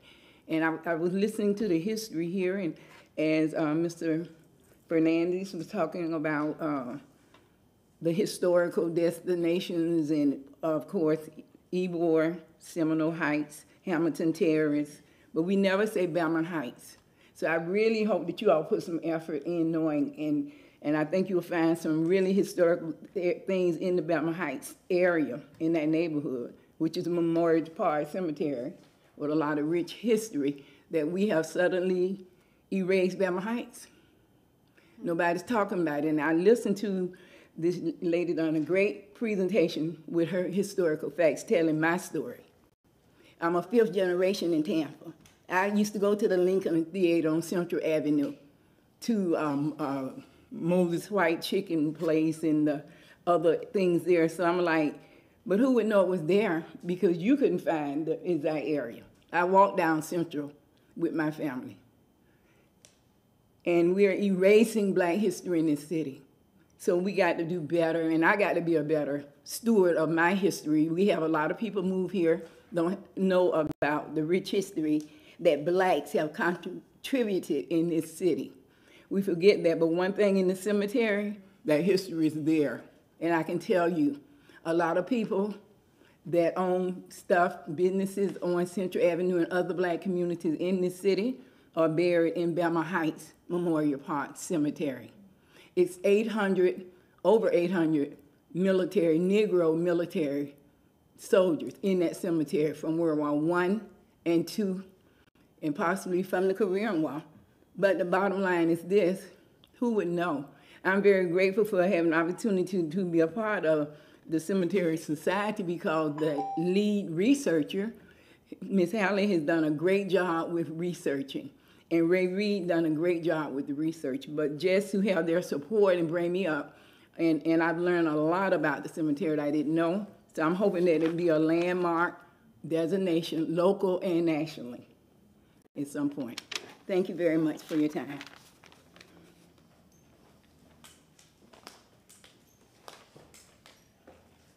Thank you very much for those comments. Um, I will now close the uh, public hearing, or Dennis, would you like to make any other further comment, I guess? I, that's probably a more appropriate order of things here.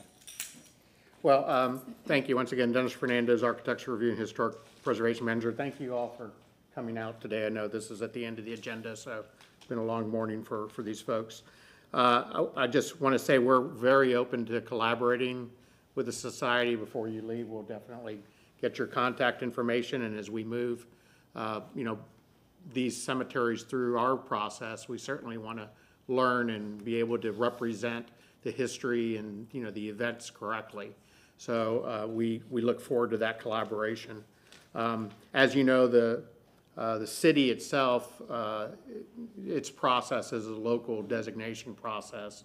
Uh, The state of Florida is the uh, essentially vehicle by which national register or national landmark uh, designations are applied for. So we can certainly coordinate on these designations. And I think with them, uh, as I said, it brings, uh, you know, both recognition and protection when we're able to accomplish both. And that's, I think, a, a- an important thing.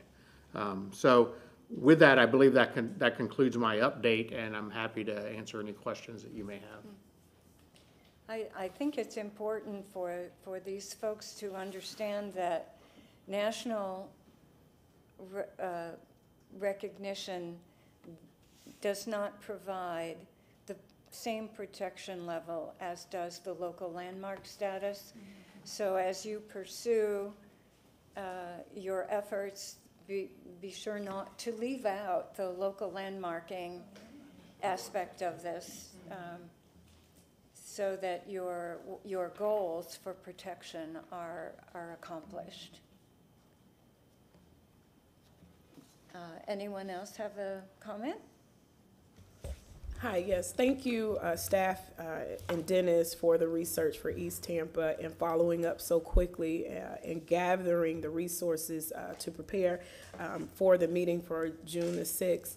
Um, I definitely will be in attendance and hopefully the community uh, can um, be in attendance to provide other information. Because again, when you, there's no physical structure, oral is the next best thing. So um, also, I would implore the city of Tampa to also work with USF.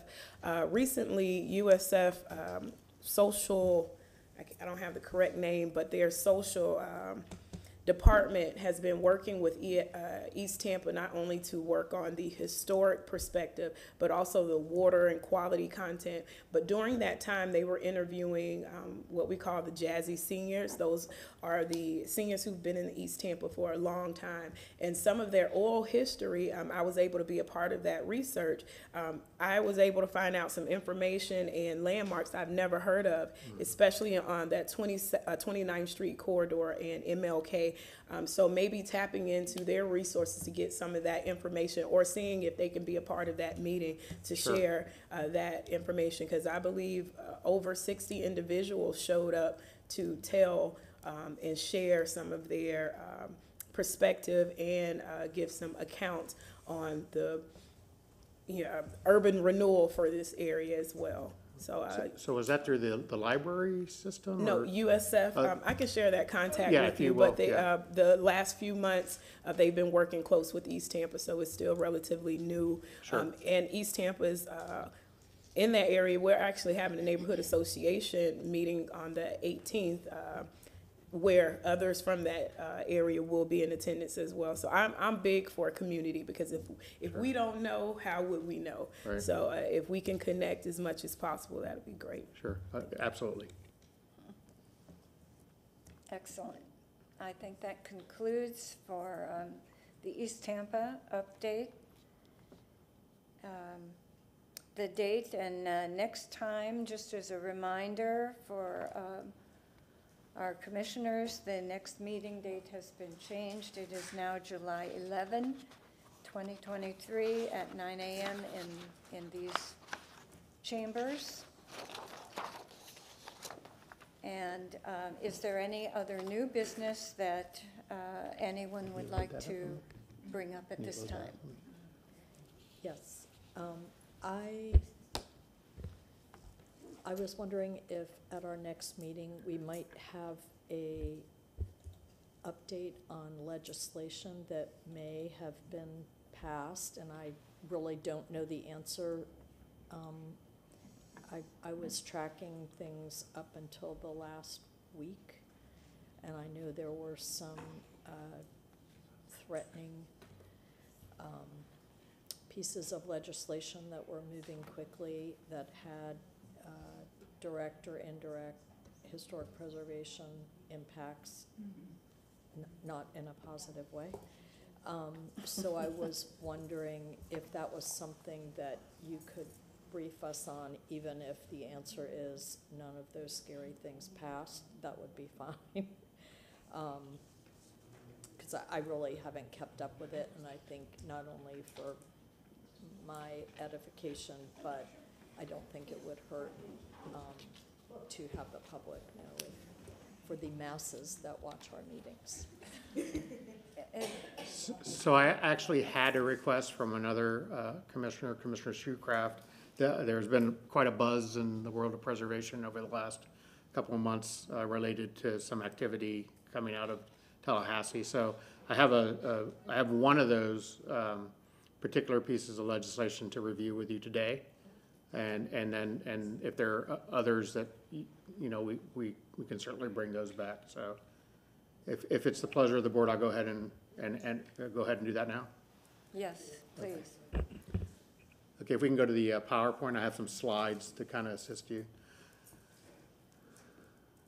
So uh, this may be uh, one of the pieces of legislation that y- you were referring to, Commissioner, but uh, the, the one that, that certainly kind of uh, took, took the wind out of the sail uh, in the state of Florida for preservation was the proposed um, bill by Senator Avila in the Miami-Dade area uh, and Representative, Re- Representative Roach in uh, North Fort Myers. And it was, came in under House Bill 1317, and then its, its companion bill, Senate Bill 1346. And as introduced, uh, it, it- that, you know, thi- this is sort of a broad level description. Uh, It was to create the Resilience, Resiliency and Safety, Safe Structures Act, which would prohibit local governments from prohibiting, restricting, or preventing demolition of certain structures unless necessary for public safety. Um, The, the original bill did not apply to single-family structures uh, or structures that were individually listed on the National Register of Historic Places. Um, There were other exemptions that were added over time, but as introduced, the bill overrode local government's limits on demolishing uh, or preventing demolition of structures in coastal areas, uh, those that did not uh, comply with FEMA requirements, and particularly FEMA requirements are ele- are elevational requirements. And it's pretty um, widespread that most historic structures do not uh, comply with uh, FEMA requirements.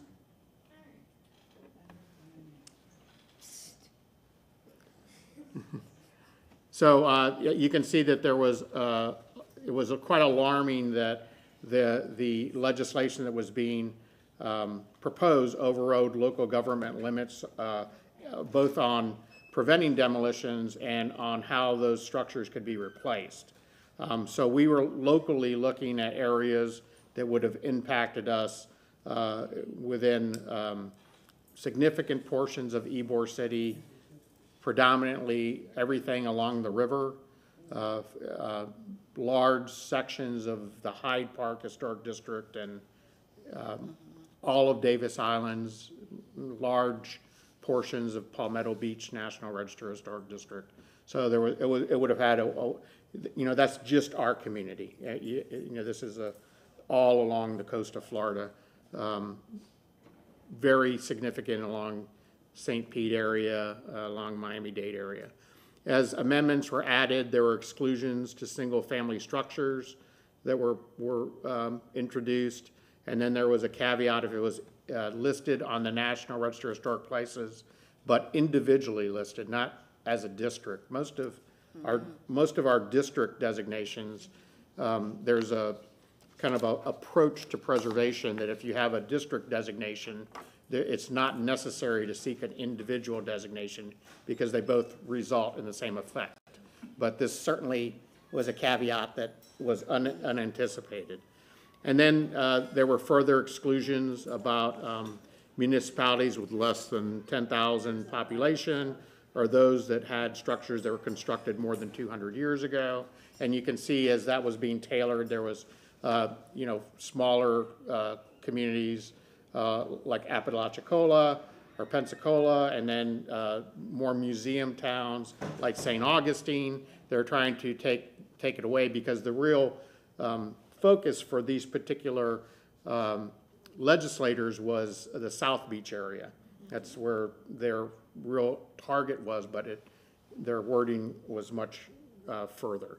Um, And then, uh, you know, there was other discussion about perhaps if a structure came down, that it would still have to go through a public hearing process uh, to, to be reconstructed, but then that reconstructed structure would be compliant with FEMA and potentially could be out of character with its surrounding structures. So that was, that was the general overview that had most of the preservationists in Florida and, and many, you know, people that were worried about heritage tourism and impacts on, on uh, the, the Florida coast, you know, very alarmed.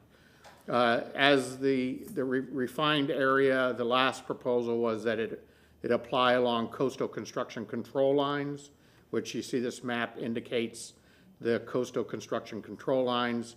Uh, Tampa does not uh, have these control lines, so the last version of this as it went into the Senate excluded the Tampa area, but obviously impacted many communities uh, in Florida. And um, essentially what happened was this bill uh, never made it out of the House. It died in the House. And so it was not, it was not voted upon. It did, it did, however, um, uh, I think, get uh, most people in the state thinking about, you know, future proposed legislation. And the trend that we're seeing in Florida is, is ob- obviously more redevelopment friendly, more density-driven uh, land use regulations that is being somewhat facilitated through the state legislature. So I think it's, it's an important, you know, example, uh, one, just one segment of, of, of land use issues that are going on right now that place additional pressures on historic preservation and really uh, result in a, need to um, monitor these and stay engaged and stay active. We work through, um, we have a legislative liaison for the city of Tampa that I was working closely with. Uh, There's also groups like the Florida Trust for Historic Preservation, and I was coordinating with the State Historic Preservation Office on this, as were many, many, uh, you know, other similar municipalities throughout the state. So uh, I, I believe that was one of the, the um, proposed legislative measures that was going through. Um, There were others that were incentives to preservation. One, one was a, uh, was a state tax credit that was being proposed that was similar to the federal tax credit that exists, that we, we utilize and is very valuable for historic preservation uh, projects, but however, that, that failed to get passed as well. So while we, we did not have a, you know, this, this degradation of local control over historic resources passed, we also didn't have an incentive that it could be used to promote historic preservation. Um, So it's, it's, it's, a- un- that's unfortunate. We were hopeful that that could pass and be another tool in our kit uh, to encourage uh, preservation locally uh, and statewide. So I think that concludes my pres- presentation. Thank you, Dennis, so much. I really appreciate it. It was kind of last minute, my request. Um, I do have, uh, two follow-up questions. Um, one is the coastal construction control line. I'm looking at the, um, the figure right now. So are you saying that includes, when you say the Tampa Bay area, I assume that means St. Pete, Safety Harbor, you know, basically anybody who's got property along a waterway? Is, is that, that's what that's saying, okay. And It then- it excludes Tampa, Tampa Bay, but it it includes those coastal areas like those barrier islands. So like St. Pete Beach? St. Pete Okay, I see, yeah, but uh, yeah. basically I'm looking, I don't see like downtown St. Pete, for example. No, no, it would be, Okay. yeah. So the second question, and maybe this is something you can answer, um, when, let, let's pretend this, had- this had passed, for example, and I would assume that there would be a challenge to this. When it passes, does the law go into effect immediately, even if there's a challenge to it?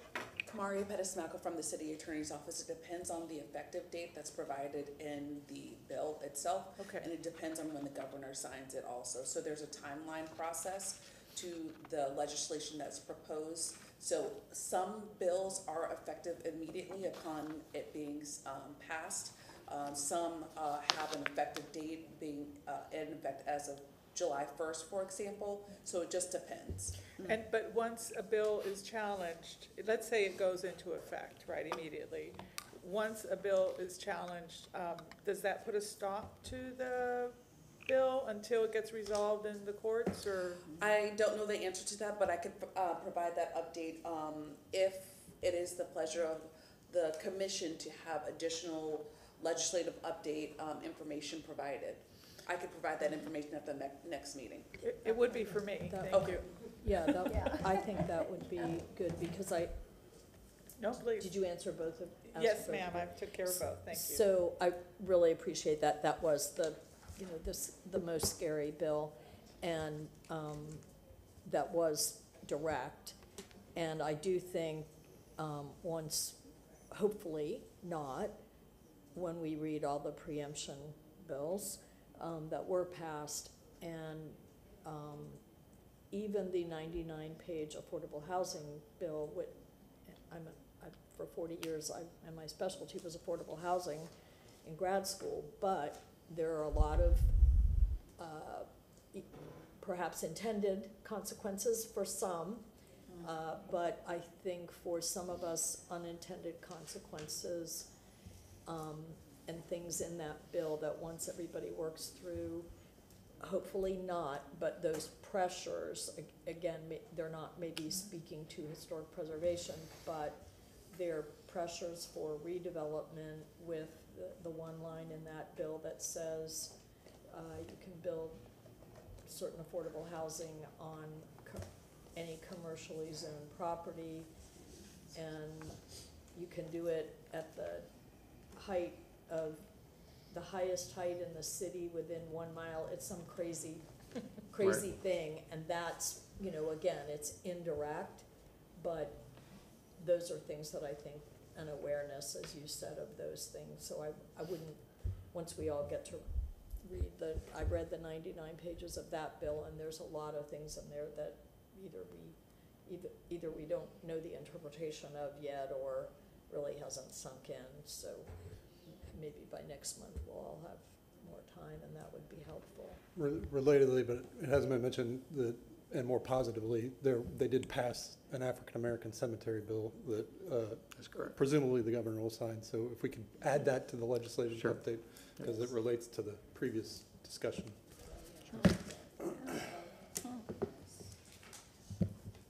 Any other comments? Um, Then I think we've taken care of our new business um, section. Um, Ms.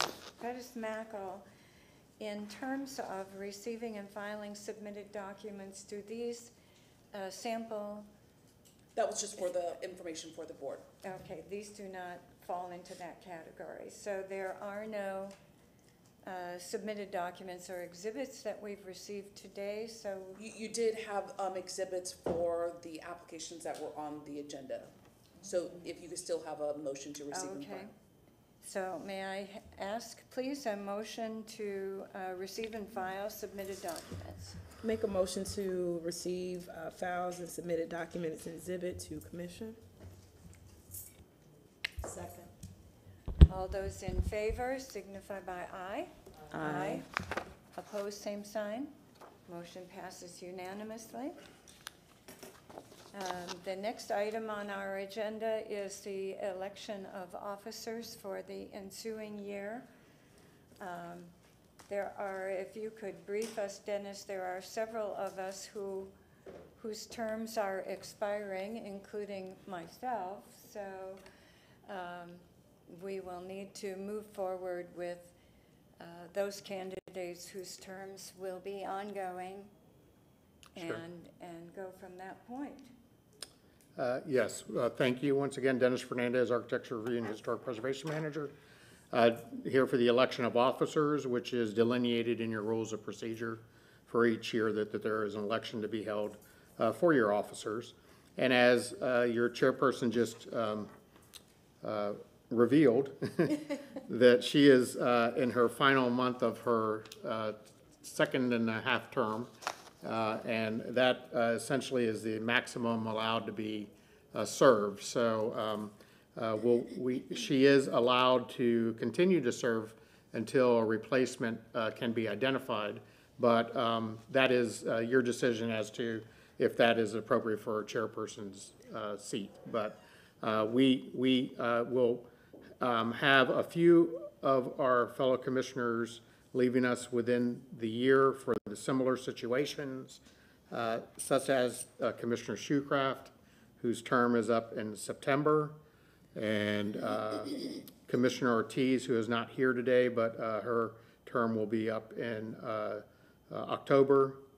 And um, on the more positive side, I did want to congratulate Commissioner Cantch, who was just reappointed at the last city council hearing for another term. Uh, So thank you for your willingness to serve, and uh, we look forward to working with you all the way to 2026. And uh, another congratulations for the upcoming hearing this Thursday for Commissioner Cobb, uh, who has uh, now uh, applied for a reappointment to her, her second term as well, and I believe is scheduled on the agenda this Thursday at City Council for that. So in anticipation of our, um, our exits and our reappointments, I, I enter into uh, a call for nominations of your chairperson for the upcoming year, and how I would uh, normally uh, do this is accept a nomination uh, from the members of the board, ask that individual if they're willing to serve in that capacity for the next year, and then take a vote uh, on the, the nominations that we have. So do I have any nominations for the the position of chairperson? Uh, Yes, I would like to nominate uh, Commissioner Cobb as the um, chairperson for the board. Thank you. Second. And does Commissioner Cobb agree to serve in that capacity for the next year? Commissioner Cobb agrees to serve in the capacity as chair for historic preservation. Thank you. And are there any other nominations? Okay, seeing none, if I could show a, a vote of hands uh, for affirmation of that nomination. Okay, It's unanimous. Congratulations. Thank you. And now uh, for the uh, uh, position of of vice chairperson, uh, the same process. Any nominations uh, for that particular position? I would like to nominate Commissioner Kench. I would like to second the nomination. We have a nomination for Commissioner Canch for the vice chair position. Do you uh, agree to serve in that capacity for the next year? Yeah, sure. Yeah, yes, I would like to serve in the position as vice chair Thank you. of the Historic Preservation Commission. Appreciate that. Are there any other nominations? Okay, seeing none, uh, by show of hands to affirm that nomination? Very good, congratulations. Uh, We will set some time up with our legal counsel to have somewhat of an orientation on these positions. And I do appreciate uh, Commissioner Salaga's uh, role as chairperson since uh, I believe it was the late 2018 when you were appointed to that position. And it's been a wonderful experience for, I think, the commission and for the staff to work with you. We really appreciate that. Thank you. So, on that note, I believe that our business for today is completed and the um, meeting is now adjourned. It is approximately 11:12.